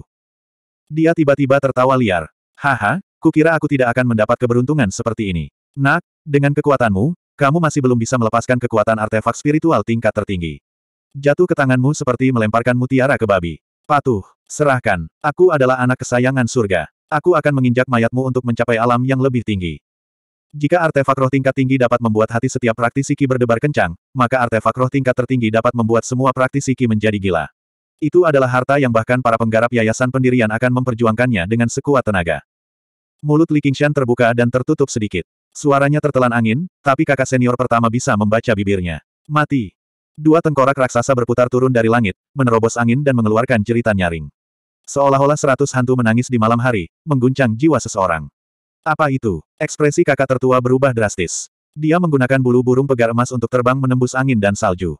Dia benar-benar meminjam kekuatan pedangki untuk berputar beberapa kali tanpa peringatan apa pun, menggambar lintasan emas yang memutar dan menghindari serangan tengkorak. Peng, peng, peng. Dia menerobos penghalang udara dan dengan cepat jatuh dari tebing yang gelap gulita. Dia berpikir dalam hati, tidak bagus, aku telah jatuh ke dalam perangkap bocah ini. Suara melengking itu mengikutinya seperti bayangan. Kakak tertua melihat sekeliling dan melihat dua tengkorak mengejarnya, satu di kiri dan satu di kanan. Darah menyala di rongga mata mereka berkedip-kedip dan gigi mereka bergemeletuk keras. Mereka tidak sabar untuk mencabik-cabik dagingnya. Dari jauh, orang hanya bisa melihat garis emas dan dua garis merah tipis jatuh lurus ke bawah ke jurang maut. Lintasan benang emas sangat tidak menentu, dan kedua benang merah terus berputar mengelilinginya, mengunci jalur keluar benang emas. Pada saat ini, dua garis merah tiba-tiba memotong lintasan garis emas. Kedua tengkorak itu menerjang ke arah kakak laki-laki pertama. Kakak laki-laki pertama mendengus dingin. Trik kecil. Dia mengangkat tangannya pada saat yang sama dan mengayunkannya keluar. Dua paru emas mematuk dahi tengkorak itu dengan kejam. Dengan dua pukulan, dia membuat kedua tengkorak itu terbang. Namun, di saat-saat terakhir, mereka membuka mulut, dan dua sosok muncul di tengah kobaran api. Yang satu tinggi, sedangkan yang lainnya mungil. Mereka adalah Li Qingshan dan En kecil. Mereka melompat keluar dari tengkorak pada saat bersamaan. Li Qingshan memegang pedang kursif sembilan surga saat dia menyerang kakak laki-laki pertama. Kakak senior pertama merasa seluruh dunia terkoyak oleh pedang Ki yang saling bersilangan. Kepanikan dan ketakutan akhirnya muncul di matanya untuk pertama kalinya. Dia meraih seratus kantong harta karun di pinggangnya. Gerakannya sangat cepat, tetapi dibandingkan dengan kecepatan pedang Ki, gerakannya sangat lamban. Dia tidak pernah berpikir bahwa dia perlu menyia-nyiakan jimat dan batu spiritual untuk melawan praktisi Ki lapisan keempat, jadi dia belum membuat persiapan apa pun. Saya seorang jenius, calon ketua sekte Gunung Visions Grace. Masa depan saya tidak terbatas. Saya tidak bisa mati di sini. Pikiran itu terlintas di kepala kakak laki-laki pertama.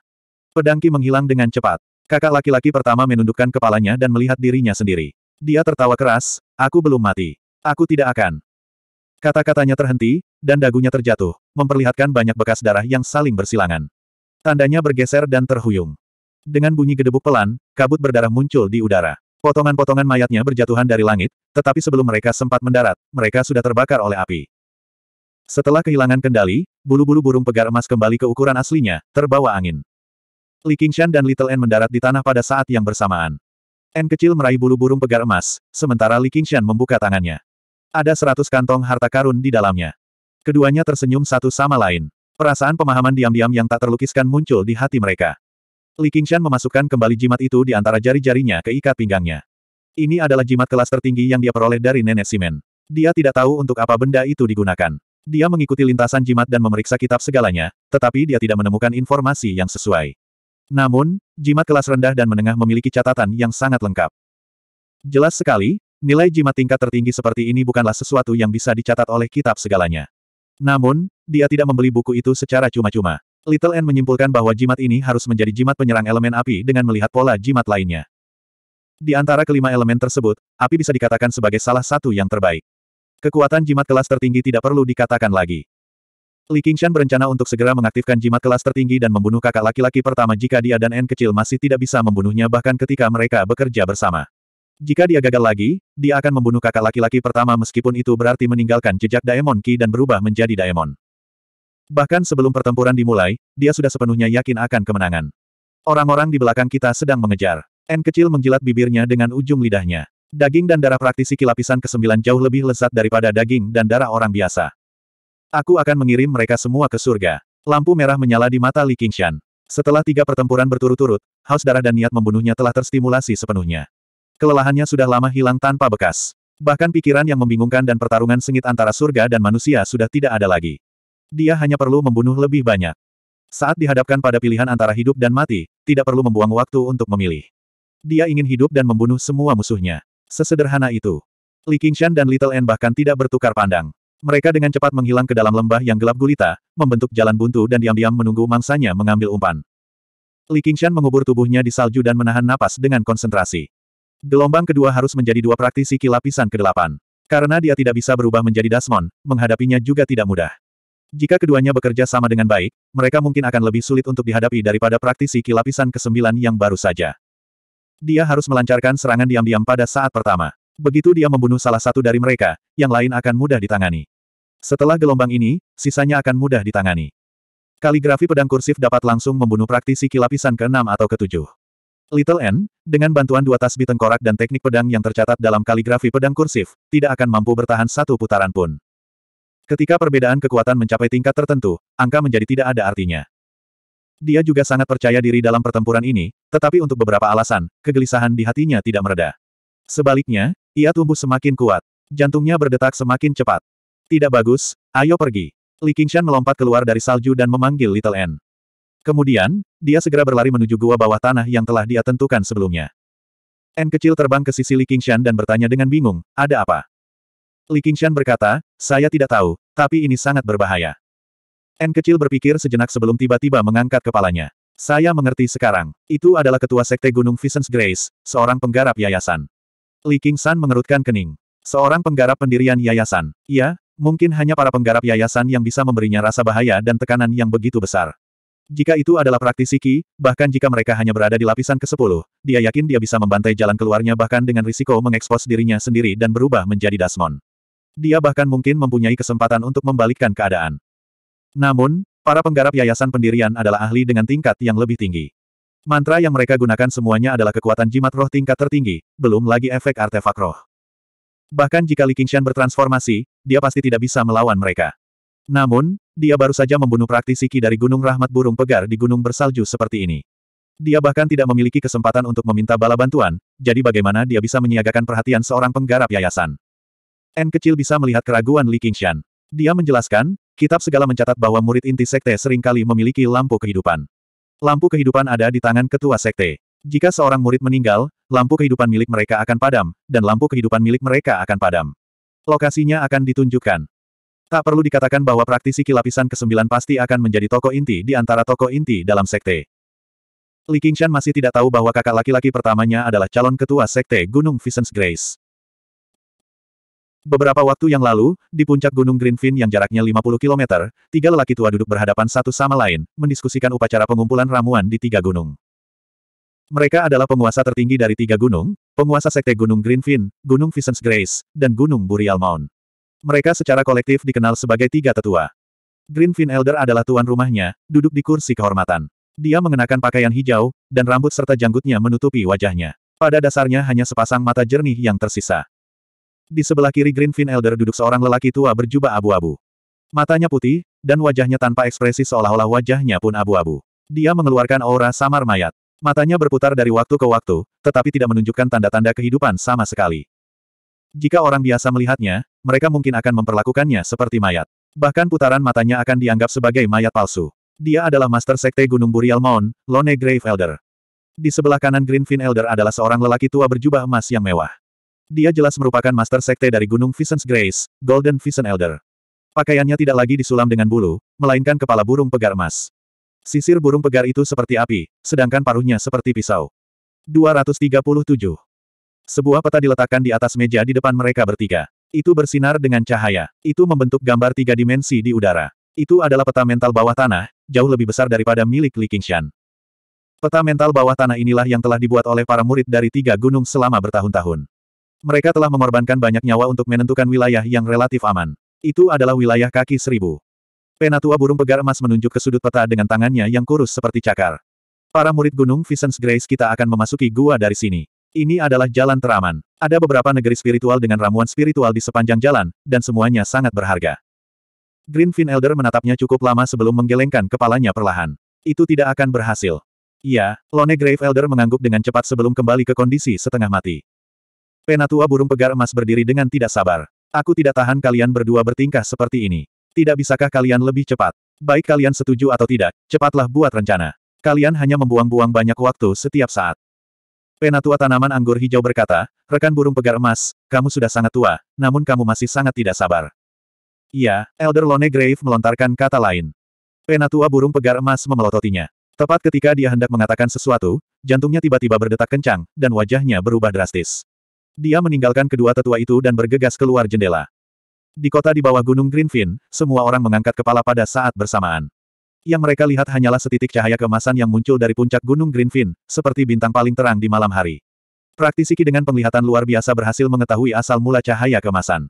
Itu adalah seekor burung pegar emas, menyeret bulu ekornya yang panjang dan berwarna emas saat ia melesat melintasi langit malam dengan kecepatan yang luar biasa. Itu seperti komet emas. Semua praktisi Ki tidak bisa menahan diri untuk tidak menghela nafas dalam hati. Jadi inilah kekuatan seorang penggarap yayasan pendirian. Kota terdiam beberapa saat sebelum kembali ke keriuhannya. Itu bahkan lebih keras dari tadi. Semua praktisi Ki tampaknya telah menghidupkan kembali semangat juang dan ambisi mereka.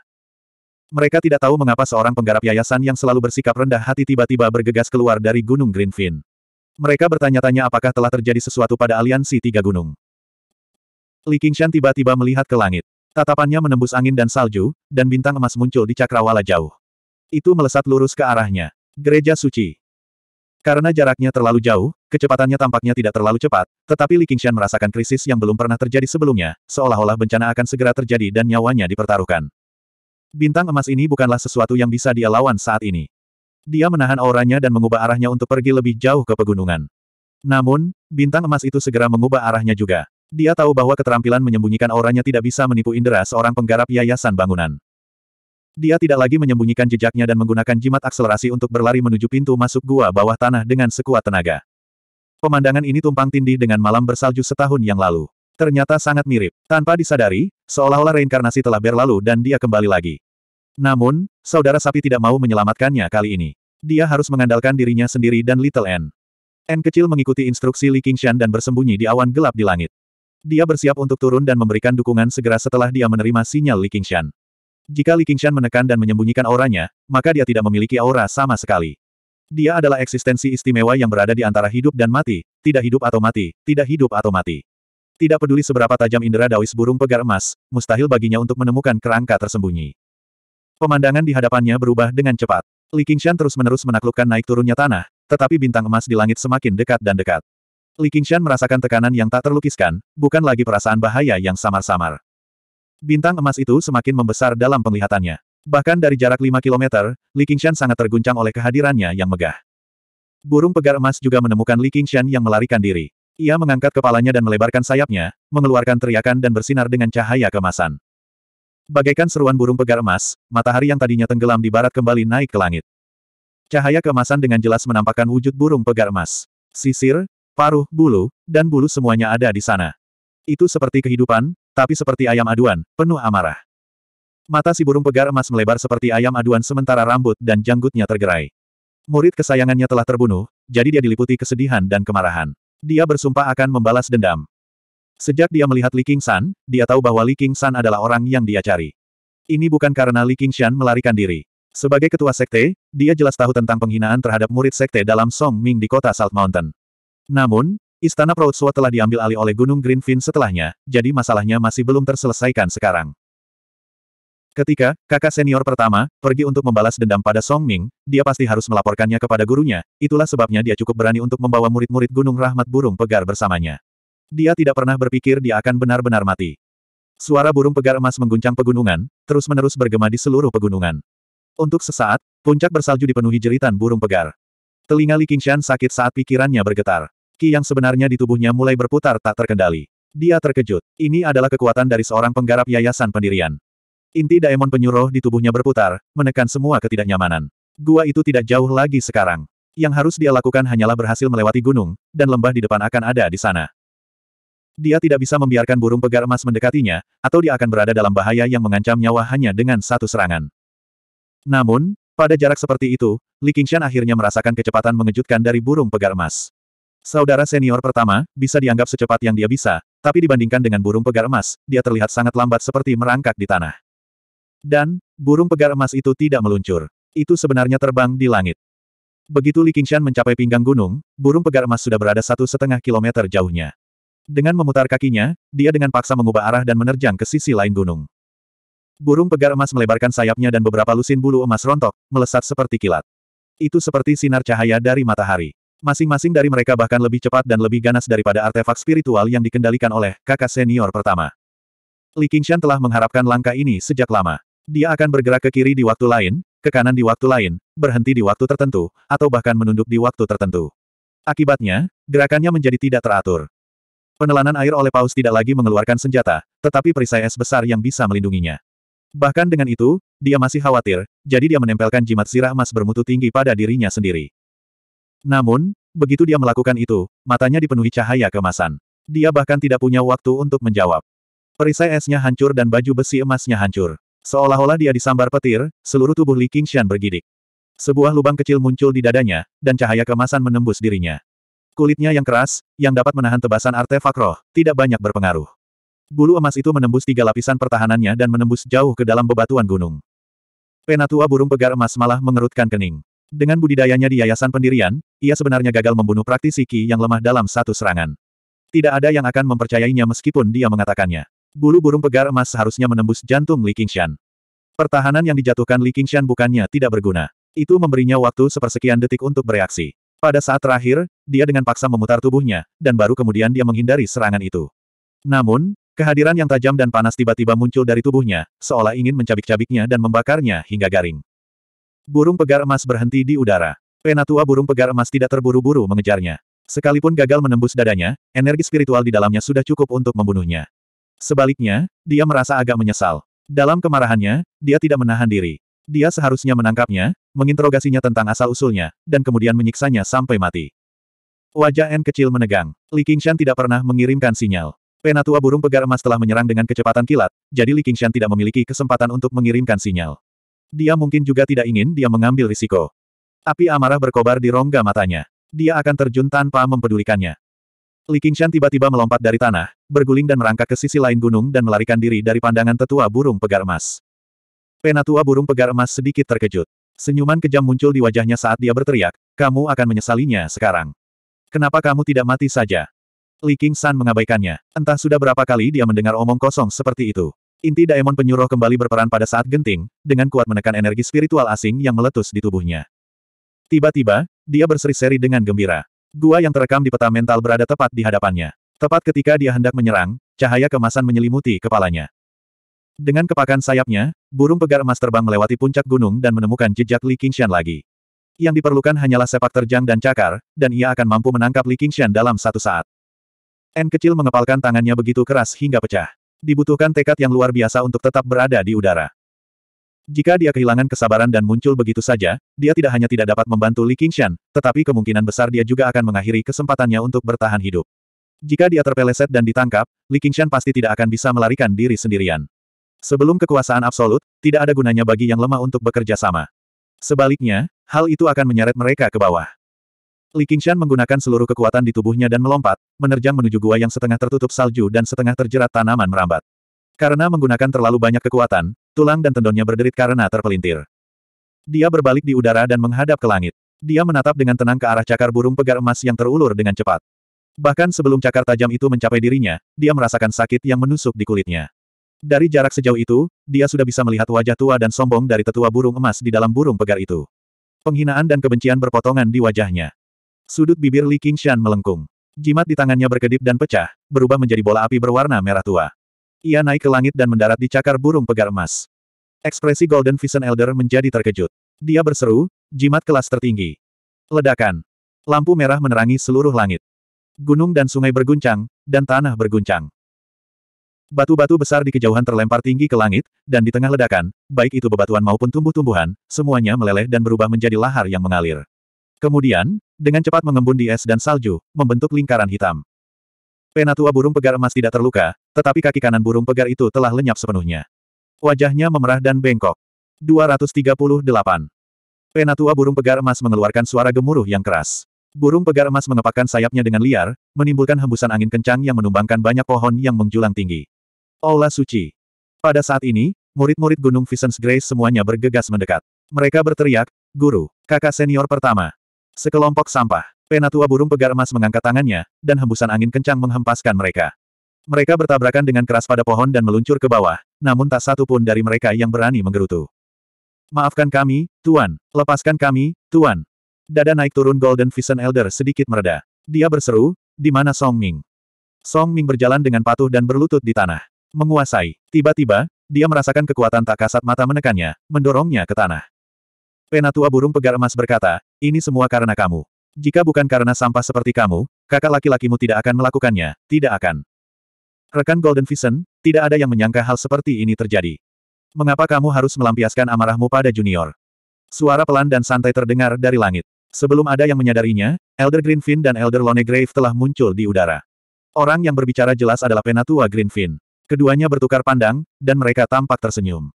Ketiga gunung tersebut sama-sama bersekutu, namun mereka juga bersaing satu sama lain. Yang satu lebih kuat dari yang lain. Gunung Rahmat Burung Pegar telah kehilangan seorang murid jenius, dan ini merupakan kabar baik bagi mereka. Mereka bahkan lebih bahagia daripada mendapatkan inti Daemon. Penatua Burung Pegar Emas menjadi marah lagi. Dadanya kembali naik turun dengan kejam. Ini masalah Gunung Visions Grace milikku. Ini tidak ada hubungannya dengan kalian, dua orang tua bodoh. Rekan Burung Pegar Emas, di situlah kesalahanmu. Tiga gunung kami adalah sekutu, jadi musuhmu jelas adalah musuh kami. Begitu kamu kembali, segera berikan hadiah untuk ketiga gunung itu. Pelakunya harus kita bawa ke pengadilan, kata penatua tanaman anggur hijau. Entah dia sedang tersenyum atau tidak dari mulut yang tersembunyi di balik janggutnya. Iya, Elder Lone Grave mengangguk. Penatua burung pegar emas tidak dapat menolaknya. Keinginannya untuk membalaskan dendam murid kesayangannya mengalahkan harga dirinya, tapi sudah lama sekali dia tidak dihina seperti ini. Dia mengertakkan gigi dan berkata, jika kamu menemukan anak itu, jangan terburu-buru membunuhnya. Hubungi saja aku. Aku ingin menangkapnya hidup-hidup dan mengulitinya hidup-hidup untuk meredakan kebencian di hatiku. Aula suci. Song Ming terus berbaring di tanah. Wajahnya pucat. Meskipun dia selamat, masa depannya di Gunung Visions Grace bisa dianggap suram setelah tuannya merasa muak padanya. Bagaimana ini bisa terjadi? Dia tidak pernah bisa membayangkan bahwa kakak laki-laki tertuanya, yang berada di lapisan ke-9 Ki Refinement, akan mati di tangan seekor ikan kecil seperti itu. Dia telah mendengar bahwa guru telah memberinya dua jimat tingkat tertinggi. Bahkan jika dia bertemu dengan seorang penggarap yayasan, dia akan memiliki cara untuk bertahan hidup. Bagaimana dia bisa mati di tangan anak kecil? Murid-murid lain dari Gunung Visions Grace menundukkan kepala mereka dalam kesedihan dan kemarahan. Surga-surga ilahi adalah semuanya. Meskipun surga, Sekte Raja Keluarian Surga. Secara khusus, dua praktisi kilapisan ke-8 selalu ditekan dengan kuat oleh kakak senior pertama, tidak mampu bernapas. Sekarang setelah kakak laki-laki pertama meninggal, mereka dapat memperoleh lebih banyak sumber daya. Mereka bahkan mungkin memiliki kesempatan untuk mewarisi posisi ketua sekte. Bukankah ini berita luar biasa yang jatuh dari langit? Memikirkan hal ini, mereka bertukar pandang dan segera berbalik. Li, dari penatua Chen keluar, He Chen, Raja keluar dari, keluar. Apakah praktisi Qi yang dibenci oleh para penggarap yayasan pendirian masih punya jalan keluar? Tidak ada yang tahu. Li Qingshan mendengarkan mereka dengan tenang. Di tengah gunung, di kedalaman bumi, Li Qingshan telah menyembunyikan seluruh auranya. Dia seperti katak yang berhibernasi, terkubur di dalam bumi. Sebenarnya, meski tanpa sengaja menyembunyikannya, auranya sudah sangat lemah. Sangat sulit bagi orang untuk mendeteksinya. Punggungnya pada dasarnya telah hangus seluruhnya. Dia tidak bisa merasakan apa pun. Lubang kecil di dadanya saat ini terkoyak dan membesar sedikit demi sedikit. Ki spiritual yang kejam mengamuk di sekujur tubuhnya. Bahkan inti daemon penyuruh pada dasarnya tidak mampu menekannya. Siapa yang tahu berapa kali dia berani menghadapi kematian hanya dari satu pertemuan dengan seorang penggarap yayasan. Dia baru saja berhasil melarikan diri berkat jimatnya dan keunggulan geografisnya. Namun, dia masih terluka parah. Dia berantakan dari dalam keluar, sama sekali tidak bisa bergerak oleh bumi. Jika dia adalah praktisi ki biasa, dia pasti sudah mati. Namun, dia tidak peduli dengan bahaya yang dia hadapi, dia juga tidak peduli dengan luka-lukanya. Dia memusatkan seluruh perhatiannya pada telinganya, menggunakan pendengarannya yang luar biasa untuk mendengarkan kata-kata di tanah. Dia fokus dan serius. Hanya ketika suara-suara itu menghilang barulah dia tiba-tiba tersenyum. Senyumannya perlahan melebar, memperlihatkan giginya yang putih dan mengerikan. Meskipun tidak ada suara yang keluar darinya, kedengkian dan kekurang ajaran menjadi semakin intens. Cakar tajam menjulur dari tangan dan kakinya, dan rambutnya menjadi merah padam. Pada saat yang sama, itu menyebar ke seluruh tubuhnya. Kulitnya yang hitam pekat ditutupi garis-garis padat yang menyerupai garis-garis harimau. Bahkan matanya telah menjadi dua pupil mengerikan yang penuh dengan kebencian. Dia sebenarnya telah menembus lapisan kedua tinju penempaan tulang iblis harimau pada saat seperti ini. Jalan iblis harimau hanya bisa dipahami melalui pertempuran sengit. Li Qingshan pada dasarnya telah melalui lima pertempuran tanpa henti hari ini. Pria bertopeng berbaju hitam adalah pertempuran pertama, masyarakat pencari kebenaran adalah pertempuran kedua, penjaga Hawk Wolf adalah pertempuran ketiga, saudara senior pertama adalah pertempuran keempat, dan penatua burung pegar emas adalah pertempuran kelima. Setiap pertempuran lebih intens dan berbahaya dibandingkan sebelumnya. Dia terluka parah dan kelelahan, dan baru pada saat itulah dia berhasil mencari jalan untuk bertahan hidup. Dia telah didorong hingga batasnya. Jika dia bisa bertahan hidup, maka dia akan meletus. Li Qingshan mulai meronta, mengeluarkan suara gemuruh tanpa suara. Gigi taringnya yang panjang seperti belati tajam saat tubuhnya berangsur-angsur membesar, menyingkirkan batu di sekitarnya dan berubah menjadi bentuk dasmonnya. Daemon Ki melonjak, menghancurkan dan memusnahkan ki spiritual asing di tubuhnya.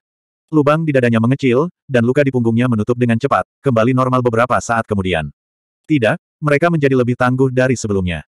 Setelah kerusakan besar, iblis sapi menempa persembunyiannya sebenarnya telah menguat. Rasanya seperti black metal telah mengalami putaran penempaan lagi. Pertahanannya setidaknya meningkat dua kali lipat. Bahkan jika dia terkena langsung oleh artefak spiritual kelas menengah, dia tidak akan terluka sama sekali.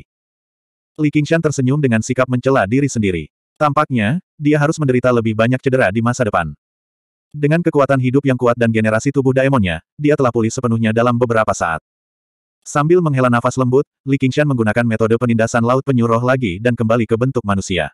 Lebih tepatnya, dia adalah setengah manusia, setengah binatang. Dia memang kembali ke ukuran aslinya, tetapi dia memiliki rambut kepala yang berapi-api, mata merah, mulut penuh gigi tajam, dan pola binatang di wajahnya. Dia tidak tampak seperti manusia tidak peduli bagaimana dia memandangnya. Li Qingshan tidak peduli dengan hal itu. Dia menemukan arah dan menggunakan cakarnya yang tajam untuk menggali sekeras yang dia bisa.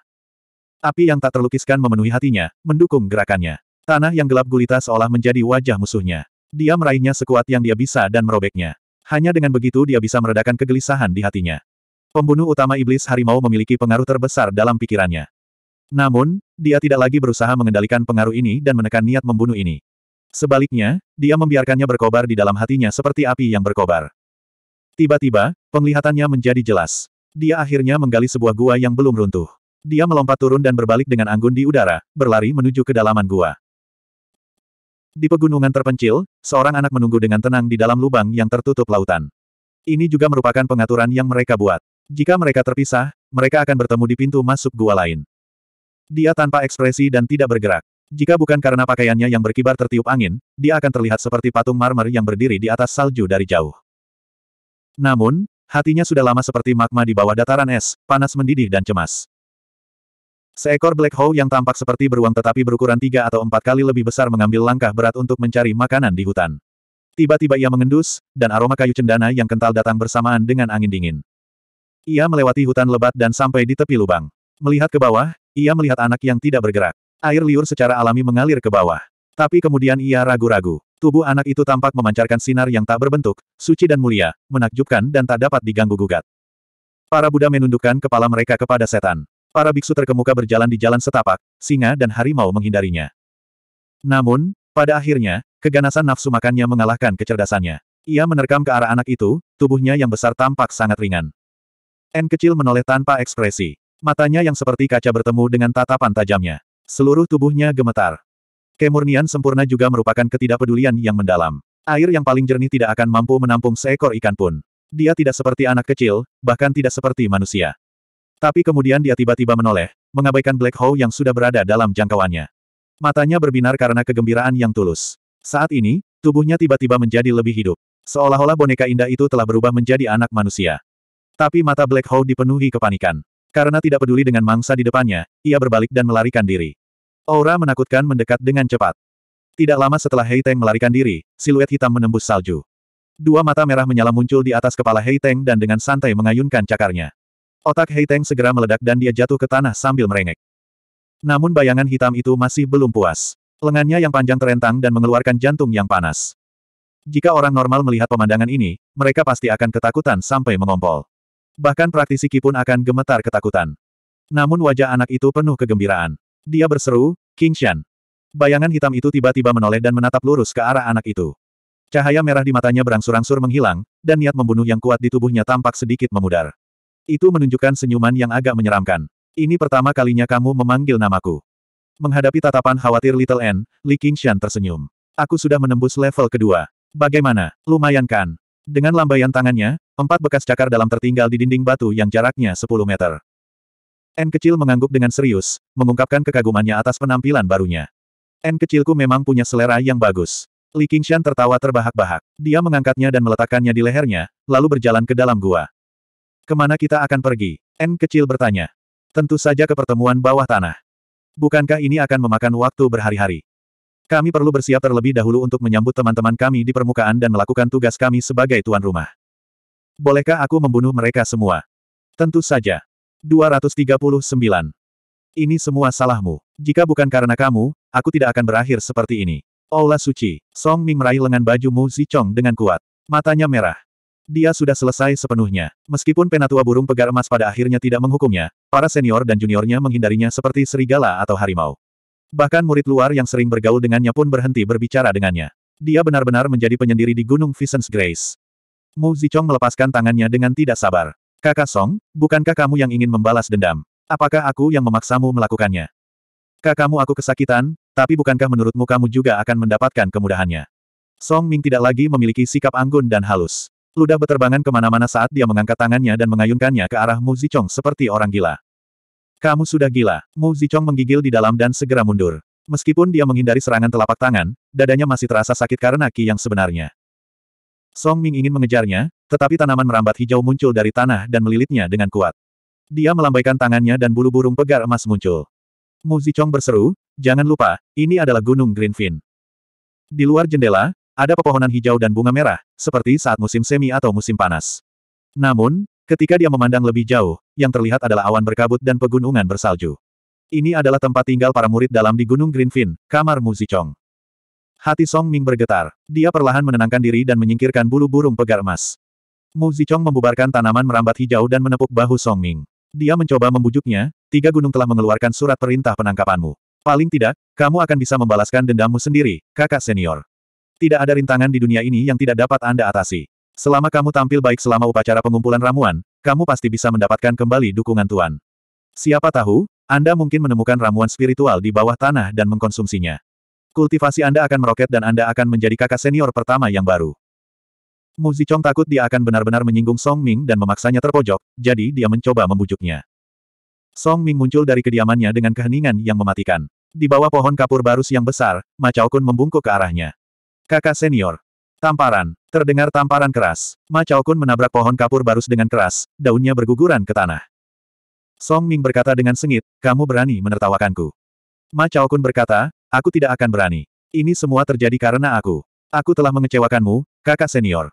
Jika kamu ingin memukul atau memarahiku, lakukan sesukamu. Suaka. Song Ming sedikit terkejut dan berkata sambil tersenyum dingin, dengan sedikit kultivasimu, kamu layak mengecewakanku. Karena kamu berani datang dan berbicara denganku, kamu bisa dianggap laki-laki. Seperti yang diharapkan dari seseorang dari Jianghu, Anda memiliki sedikit kesetiaan.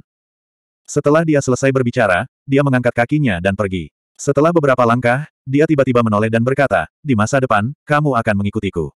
Jika ada orang di sekte luar yang berani mengganggumu, katakan saja padaku. Kakak senior, Ma Chao Kun tercengang. Kamu bisa bertahan selama 20 tahun untuk membalas dendam. Apa menurutmu aku tidak bisa dibandingkan denganmu? Saya ingin mereka melihat bahwa saya, Song Ming, bukanlah sampah yang dapat diganggu oleh siapa pun. Mu Zichong menyaksikan mereka berdua menghilang ke jalan gelap. Dia bergumam pada dirinya sendiri, aku tidak menyangka Song Ming ini punya tulang punggung. Lalu dia bergumam, Niu Juxia. Dia tidak pernah mengira pria ini benar-benar bisa melarikan diri dari pengepungan Gunung Visions Grace, dan dia bahkan telah membunuh kakak senior pertama dari Gunung Visions Grace. Dia pada dasarnya meragukan apakah ini suatu skema atau bukan. Dia merasa hal itu sangat sulit dipercaya. Apakah orang ini benar-benar kuat? Jika dia datang untuk membalas dendam, apa yang harus dia lakukan? Dalam keadaan linglung, sosok tinggi itu muncul di hadapannya, menimbulkan bayangan yang menyelimuti dirinya. Namun, Mu Zichong segera menggelengkan kepalanya. Bahkan jika pria Niu Juxia itu memutar otak, dia tidak akan pernah bisa membayangkan perannya dalam semua ini. Dan, dia dicari oleh tiga gunung. Nyawanya akan terancam, apalagi balas dendam. Berpikir sampai di sana, Mu Zichong berdiri dan berjalan keluar, menuju wilayah tempat tinggal para murid sekte luar. Cheng Lu, apa yang kamu katakan itu benar? Apakah Niu Juxia benar-benar diinginkan oleh ketiga gunung itu? Kenapa tidak ada yang memberitahuku? Yu Zijian mondar-mandir di dalam ruangan dengan cemas. Kamu sedang dalam tahanan rumah sekarang, jadi tentu saja tidak ada yang akan memberitahumu. Kudengar dia membunuh kakak laki-laki pertama dari Gunung Visions Grace, dan dia sedang diburu oleh penatua Golden Vision. Berhenti mondar-mandir. Itu membuat aku pusing. El lalu apa yang terjadi padanya? Yu Zijian tiba-tiba berhenti. Matanya membelalak ketakutan, dan lapisan kabut menutupi wajahnya. Bola matanya sudah mulai berputar. Jika bukan karena aku, Niu Juxia tidak akan berselisih dengan Gunung Visions Grace, dan dia tidak akan datang ke Gunung Greenfin, dan dia tidak akan. Idiot, Tentu saja dia kabur. Kalau tidak, kenapa dia diinginkan? Dibandingkan orang lain, lebih baik kamu mengkhawatirkan dirimu sendiri. Baru saja, Yu Zijian berhenti khawatir. Dia berdoa dalam hati, Niu Juxia, semoga baik-baik saja. Kata-kata Nona Hua masuk akal. Sebuah suara terdengar dari luar. Mu Zichong melangkah ke halaman dan berdiri dengan tangan di belakang punggung. Dia tampak luar biasa anggun di bawah naungan belang-belang. Yu Zijian berkata, kakak seniormu. Mu Zichong berkata, Zijian, upacara pengumpulan ramuan sudah dekat. Meskipun aku akan menjagamu ketika saatnya tiba, kamu masih perlu melakukan beberapa persiapan. Zijian bukan murid Gunung Greenfin. Aku tidak akan ambil bagian dalam upacara pengumpulan jamu yang menyebalkan itu.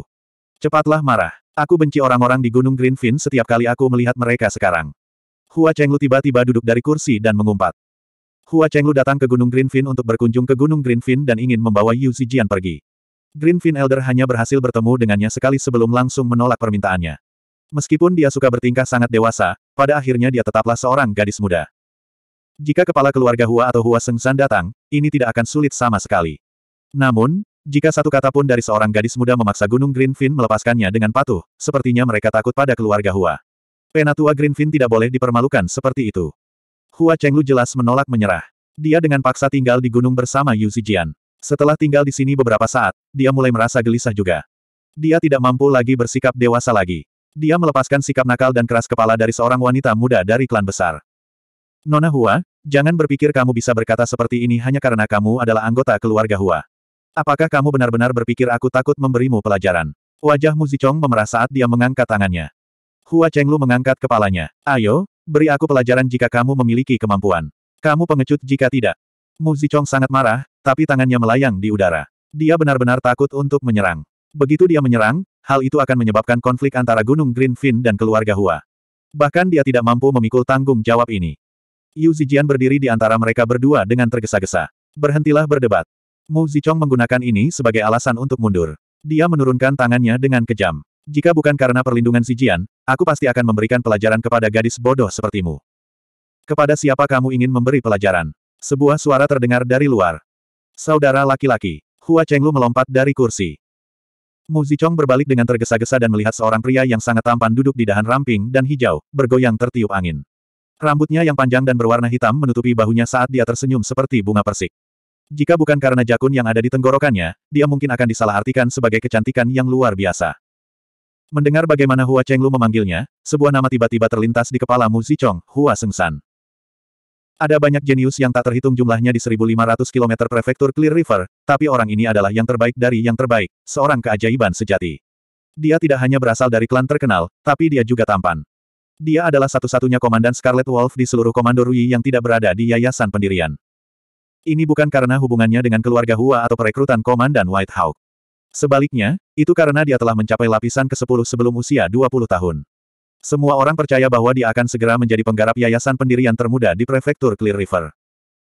Meskipun dia telah terjebak di lapisan ke-10 selama bertahun-tahun, yang membuat reputasinya sebagai seorang jenius sedikit meredup, dia masih merupakan eksistensi yang mempesona bagi praktisi ki biasa.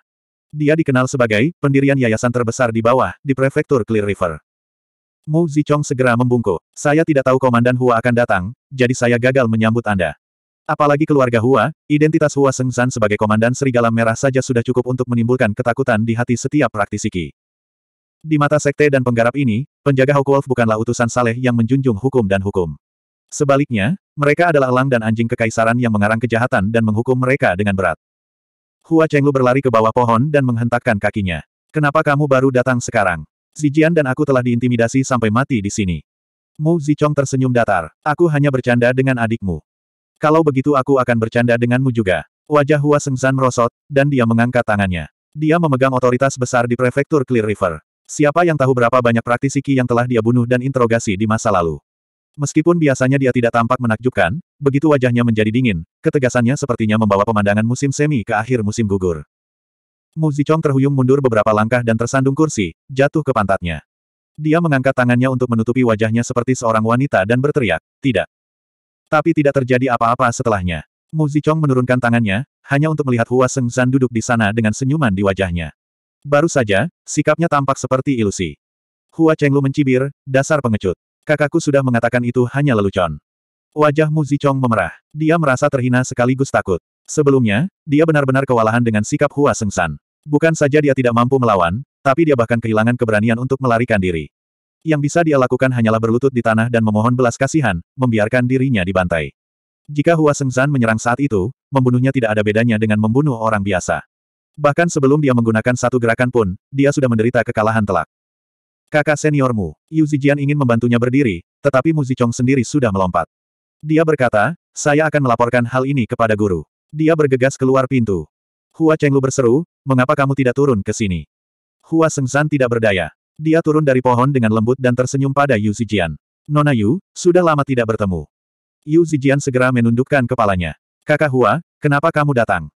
Hua Chenglu berkata dengan puas, jelas aku menyuruhnya datang. Namun, Hua Sengzan berkata pada saat yang sama, saya datang untuk urusan bisnis. Keduanya saling bertukar pandang. Hua Chenglu mencubit hidungnya dengan marah. Jadi itu bukan untukku. Hua Sengzan menghela nafas. Tentu saja ini untukmu. Sudah kubilang jangan datang ke Gunung Greenfin terburu-buru dan tunggu sampai aku menanganinya. Sekarang malah menjadi sulit. Pikiran orang-orang sangatlah rumit. Jika dia datang sekarang, tetua tanaman anggur hijau mungkin akan merasa seolah-olah keluarga Hua berusaha menindasnya melalui pengaruh mereka. Jika bukan karena aku, Zijian pasti sudah terpaksa bergabung dengan Gunung Greenfin. Cukup adil. Karena Komandan Hua telah memberkati kami dengan kehadiranmu, kenapa kamu tidak naik gunung untuk ngobrol? Izinkan aku melakukan tugasku sebagai tuan rumah. 240. Ikut denganku. Hua Chenglu mengambil Hua Chenglu dan terbang keluar dari kanopi seperti burung, terbang menuju puncak gunung. Zijian, tunggu aku. Hua Chenglu berbalik dan berseru, tapi yang dilihatnya hanyalah hamparan tanaman hijau. Dia sudah melakukan perjalanan sangat jauh dari halaman. Suaranya tertinggal, dahan dan dedaunan bergetar. Yu Zijian menghela napas dengan lembut. Jika bukan karena bantuan dari orang-orang baik ini, siapa yang tahu situasi seperti apa yang akan dia hadapi? Terlepas dari hasilnya, dia berterima kasih kepada mereka dari lubuk hatinya. Jika manusia tidak memiliki perasaan hangat ini, apa gunanya hidup di dunia ini? Namun, jika seseorang dirugikan karena dia, dia benar-benar tidak tahu apa yang akan dia lakukan. Niu Juxia, sebaiknya kamu baik-baik saja. Saat mereka melaju melewati angin kencang, angin bersiul melewati telinga mereka. Hua Chenglu bertanya, saudaraku, apa misimu di sini? Ini sebuah rahasia. Hua Sengzan tersenyum, tapi alisnya agak serius. Jelas sekali, dia tidak bisa menyembunyikan hal ini dari adik perempuannya, Hua Chenglu. Dia cemberut dengan tidak senang, tapi dia tidak bertanya lebih jauh. Dia bertanya-tanya, selain wanita itu, apa yang bisa membuat kakak laki-lakinya yang maha kuasa ini sakit kepala? Apakah ini ada hubungannya dengan upacara pengumpulan ramuan di tiga gunung? Hua Sengzan tidak menjawab. Tiba-tiba, dia terbang ke udara dan mengabaikan seluruh gunung Greenfin. Yang dilihat Hua Chenglu hanyalah alun-alun di depan aula yang diukir dengan gambar sembilan istana dan delapan trigram. Asap mengepul dari sembilan kuali perunggu berkaki tiga. Menatap ke kejauhan, pegunungan tampak kabur, memberikan kesan seperti dunia lain. Gunung Greenfin bisa dianggap sebagai tanah terberkati yang langka. Dia melihat Greenfin Elder berdiri dengan tangan di belakang punggungnya, menunggu di depan aula. Banyak murid dari tiga gunung berkumpul di alun-alun. Mendengar keributan itu, mereka bergegas mendaki gunung. Mengangkat kepala, mereka melihat seorang pria tampan dan seorang gadis terbang menaiki gunung bersama angin. Mereka seperti burung bangau putih yang terbang di atas pegunungan, tanpa sedikit pun bahaya. Praktisi Ki tingkat rendah tidak merasakan apa pun, tetapi semakin tinggi tingkat praktisi Ki, semakin serius ekspresi mereka. Perasaan menyatu dengan dunia ini hanya dialami oleh para penggarap yayasan pendirian. Benar saja, dia memenuhi reputasinya sebagai yang terhebat di bawah yayasan pendirian. Hua Sengzan dan Hua Chenglu mendarat dengan lembut di tangga. Hua Sengzan menangkupkan tinjunya dan berkata, Junior Hua Sengzan menyapa penatua Ivy. Tidak peduli seberapa baik latar belakang keluarga seseorang, atau betapa berbakatnya seseorang, ini adalah rasa hormat dasar yang harus dimiliki seorang pejuang ki terhadap seorang penggarap yayasan. Di jalur kultivasi, yang kuat dihormati. Penatua Greenfin mengelus jenggotnya sambil tersenyum dan membalas setengah membungkuk. Komandan, kenapa kamu tidak memberitahuku lebih awal? Aku bisa saja datang ke kaki gunung untuk menerimamu. Kalau begitu, sepertinya aku memanfaatkan senioritasku dan memperlakukan tamu terhormat dengan enteng. Namun, diam-diam ia menyalahkan Hua Sengzan karena tidak memberi hormat terlebih dahulu ke gunung tersebut, langsung melewati formasi dan mendaki gunung Greenfin. Namun, dia benar-benar kagum dengan kemampuannya melewati formasi tanpa mengeluarkan suara. Hua Sengzan berkata, karena aku mengkhawatirkan adik perempuanku, aku panik. Mohon maafkan aku, senior. Xiao Mei telah mengganggumu di gunung selama berhari-hari, aku khawatir perkataan dan tindakanku tidak pantas. Terima kasih senior murah hati dan tidak berdebat dengan saya. Cheng Lu, cepat berterima kasih pada senior. Terima kasih, senior Greenfin. Hua Cheng Lu membungkuk dengan agak enggan. Hua Sengzan menepuk kepala Hua Cheng Lu dengan lembut dan berkata tanpa daya, adik perempuanku masih muda dan cuek, dan dia selalu dimanja. Tidak ada yang bisa kulakukan terhadapnya, jadi kuharap senior tidak tersinggung. Adik perempuanmu naif dan lugu, jadi mengapa aku harus tersinggung? Tetua tanaman anggur hijau tertawa terbahak-bahak. Meskipun dia agak tidak senang, dia tidak boleh merendahkan diri menjadi seorang gadis kecil, atau dia akan terlihat terlalu picik. Hua Sengzan menyelesaikan konflik masa lalu dalam beberapa kata. Dia tersenyum dan menggenggam tangannya. Saya masih memiliki beberapa urusan resmi yang harus diselesaikan, jadi saya ingin bertemu dengan Master Sekte dari Tiga Gunung. Ini bukan tempat untuk berbicara, jadi ayo masuk. Saat ini, dia bukan lagi kakak laki-laki yang meminta maaf atas adik perempuannya, juga bukan lagi seorang junior yang menghormati seniornya. Sebaliknya, dia adalah komandan pengawal Hawkwolf, yang mewakili martabat hukum. Dia secara alami memperlakukannya setara, bahkan mengambil alih dan mengendalikan situasi. Penatua Greenfin mau tidak mau menjadi tegas. Dia mengangkat tangannya. Silakan. Dia hanya bisa menghela nafas dalam hati. Anak ini anggun dan tenang dalam menangani masalah. Dia sebenarnya jauh lebih baik dari semua muridnya. Dia layak mendapat tanggung jawab besar. Jika murid seperti dia dapat mewarisi warisan tersebut, apakah Gunung Greenfin tidak akan makmur? Hua Sengzan menyuruh Hua Chenglu menunggu di luar. Ketika penatua tanaman anggur hijau memasuki aula dan hendak masuk, dia tiba-tiba berbalik dan melihat melewati setiap wajah di alun-alun. Setelah itu, dia menjadi sedikit kecewa. Dia mengejek dirinya sendiri di dalam hati, jika orang itu bisa muncul di sini dengan mudah, maka aku tidak akan mengalami banyak masalah. Seperti yang diharapkan, penatua burung pegar emas dan penatua makam kesepian sudah duduk di aula. Saat mereka melihat Hua Sengzan masuk, mereka berdiri sedikit sebelum duduk kembali. Mata mereka dipenuhi dengan kewaspadaan. Mereka ingin menjaga martabat mereka sebagai ketua sekte, tapi mereka juga tidak ingin menyinggung penjaga Hawkwolf. Hua Sengzan sepertinya sudah terbiasa dengan perlakuan ini. Dia hanya mengatupkan tangannya dan tidak bertingkah seperti junior. Perintah apa yang Anda miliki untuk kami, Komandan? Penatua Greenfin memecat semua muridnya. Hanya mereka berempat yang tersisa di aula besar. Suara mereka bergema di seluruh aula, dan pilar-pilar berwarna merah terang tampak memanjang hingga ke dalam kegelapan. Tampaknya sangat sepi.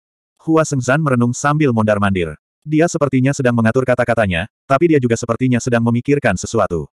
Tiba-tiba, dia berhenti dan berkata, saya datang untuk memperingatkan kalian bertiga. Seseorang akan datang untuk mengambil alih tiga gunung. Kalian bertiga harus bersiap. Apa? Penatua tanaman anggur hijau terkejut. Kau es, tetua burung pegar emas langsung melompat berdiri. Dia berada dalam suasana hati yang sangat buruk beberapa hari terakhir ini, sehingga kata-kata vulgar keluar dari mulutnya. Dia hanya berhasil menghentikan dirinya di tengah jalan. Oh, Elder Lone Grave memutar matanya. Banyak ekspresi segera muncul di wajahnya yang seperti mayat.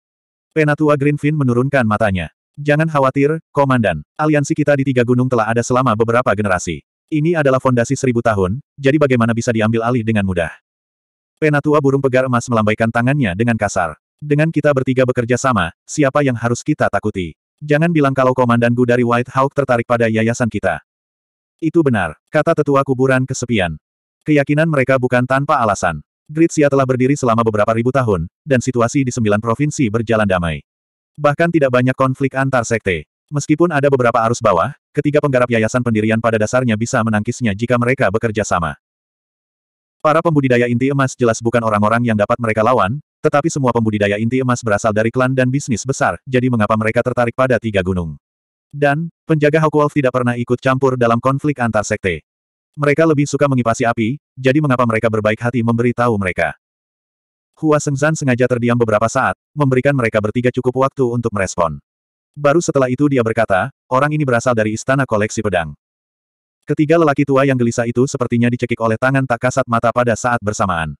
Mereka tidak bisa berkata-kata, tidak bisa berkata apa-apa. Istana koleksi pedang adalah sekte besar yang terkenal di seluruh provinsi hijau. Dikatakan bahwa hanya mereka yang telah mencapai yayasan pendirian yang berhak menjadi murid batin.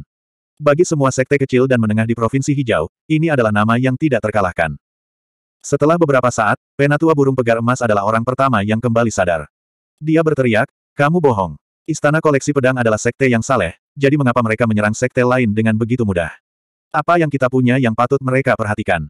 Penatua Greenfin tersenyum pahit. Jika Anda tidak bercanda, Komandan, kita bisa bersiap untuk mengubah kesetiaan kita. Bagaimana kita bisa melawan istana koleksi pedang?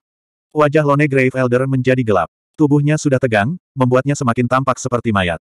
Hua Sengzan berkata, bukan menyerang, tapi kontrol dan perekrutan. Sebenarnya kalian bertiga tidak perlu terlalu khawatir.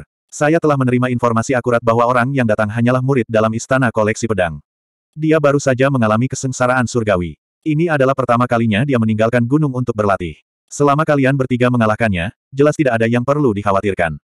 Ketiga lelaki tua itu saling memandang. Seorang murid dari istana koleksi pedang sebenarnya datang untuk menangani mereka. Ini benar-benar memalukan, tapi mereka tidak bisa marah, karena ini adalah istana koleksi pedang.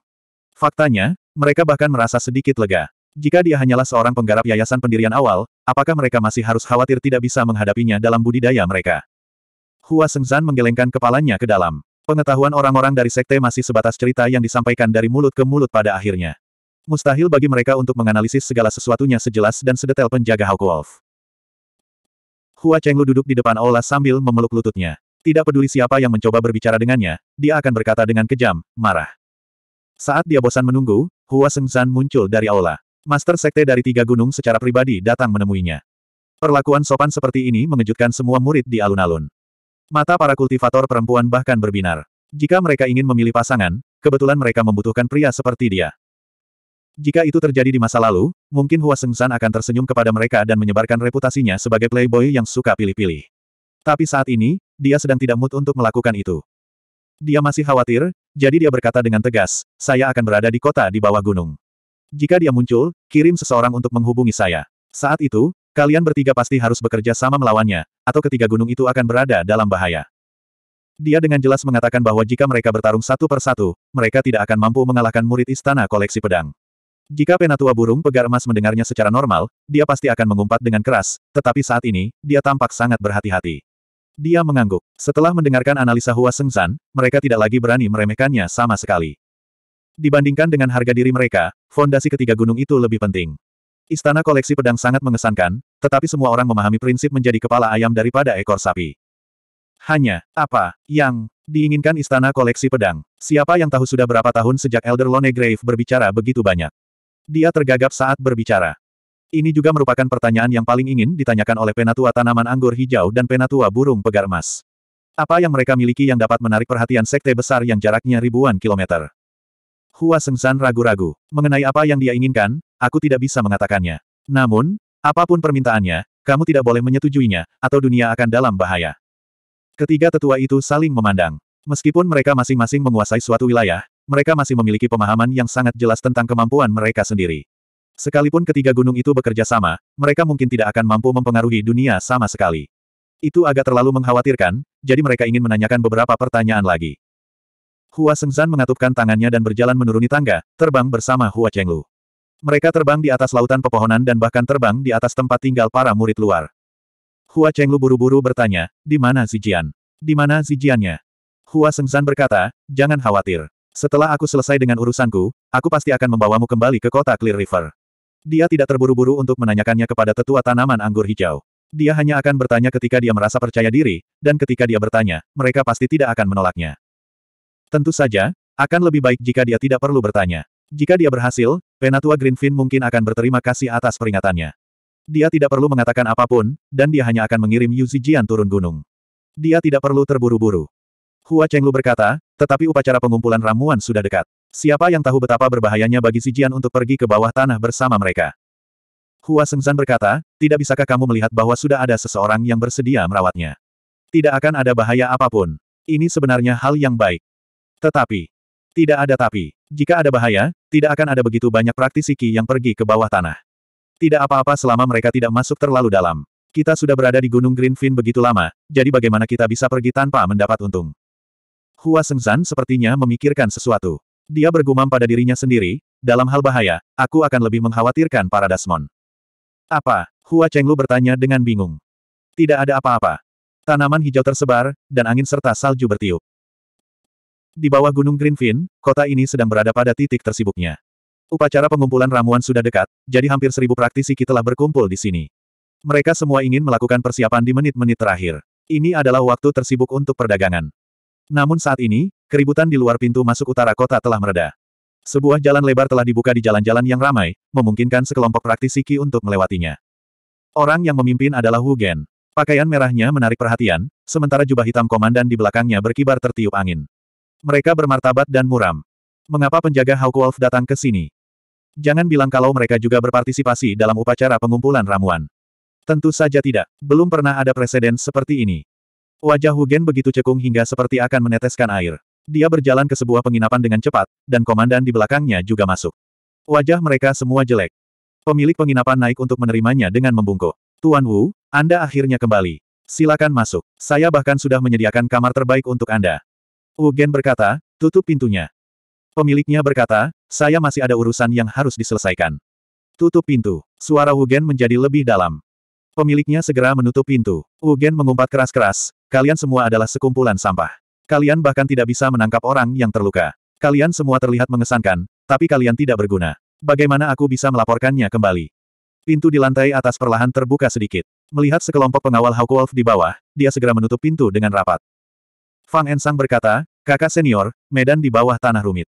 Gua-gua itu saling bersilangan. Tidak ada yang bisa kita lakukan jika kita tidak dapat menemukannya. Komandan lainnya mengangguk setuju. Gua Kyuruiliu bukan sekadar terowongan pendek dan rahasia. Sebaliknya, itu terhubung langsung ke gua-gua bawah tanah. Mereka mengikuti jejak dan mengikutinya sepanjang jalan. Pada akhirnya, mereka kehilangan jejak di sungai bawah tanah. Ketika mereka menemukan jejaknya lagi, mereka dibawa ke sarang Dasmon. Mereka membutuhkan banyak upaya untuk melarikan diri, dan mereka berakhir dalam keadaan yang menyedihkan. Meskipun mereka memerintah wilayah yang berbeda, ada beberapa penjahat yang melarikan diri ke dalam daftar hitam. Mereka tidak dapat menangkapnya. Ugen kebetulan tidak punya tempat untuk melampiaskan amarahnya. Dia berteriak pada Fang Ensang, apakah kamu belum mempelajari teknik pelacakan dari seratus aliran pemikiran? Apakah kamu, hem? Fang Ensang menunduk, saya memiliki.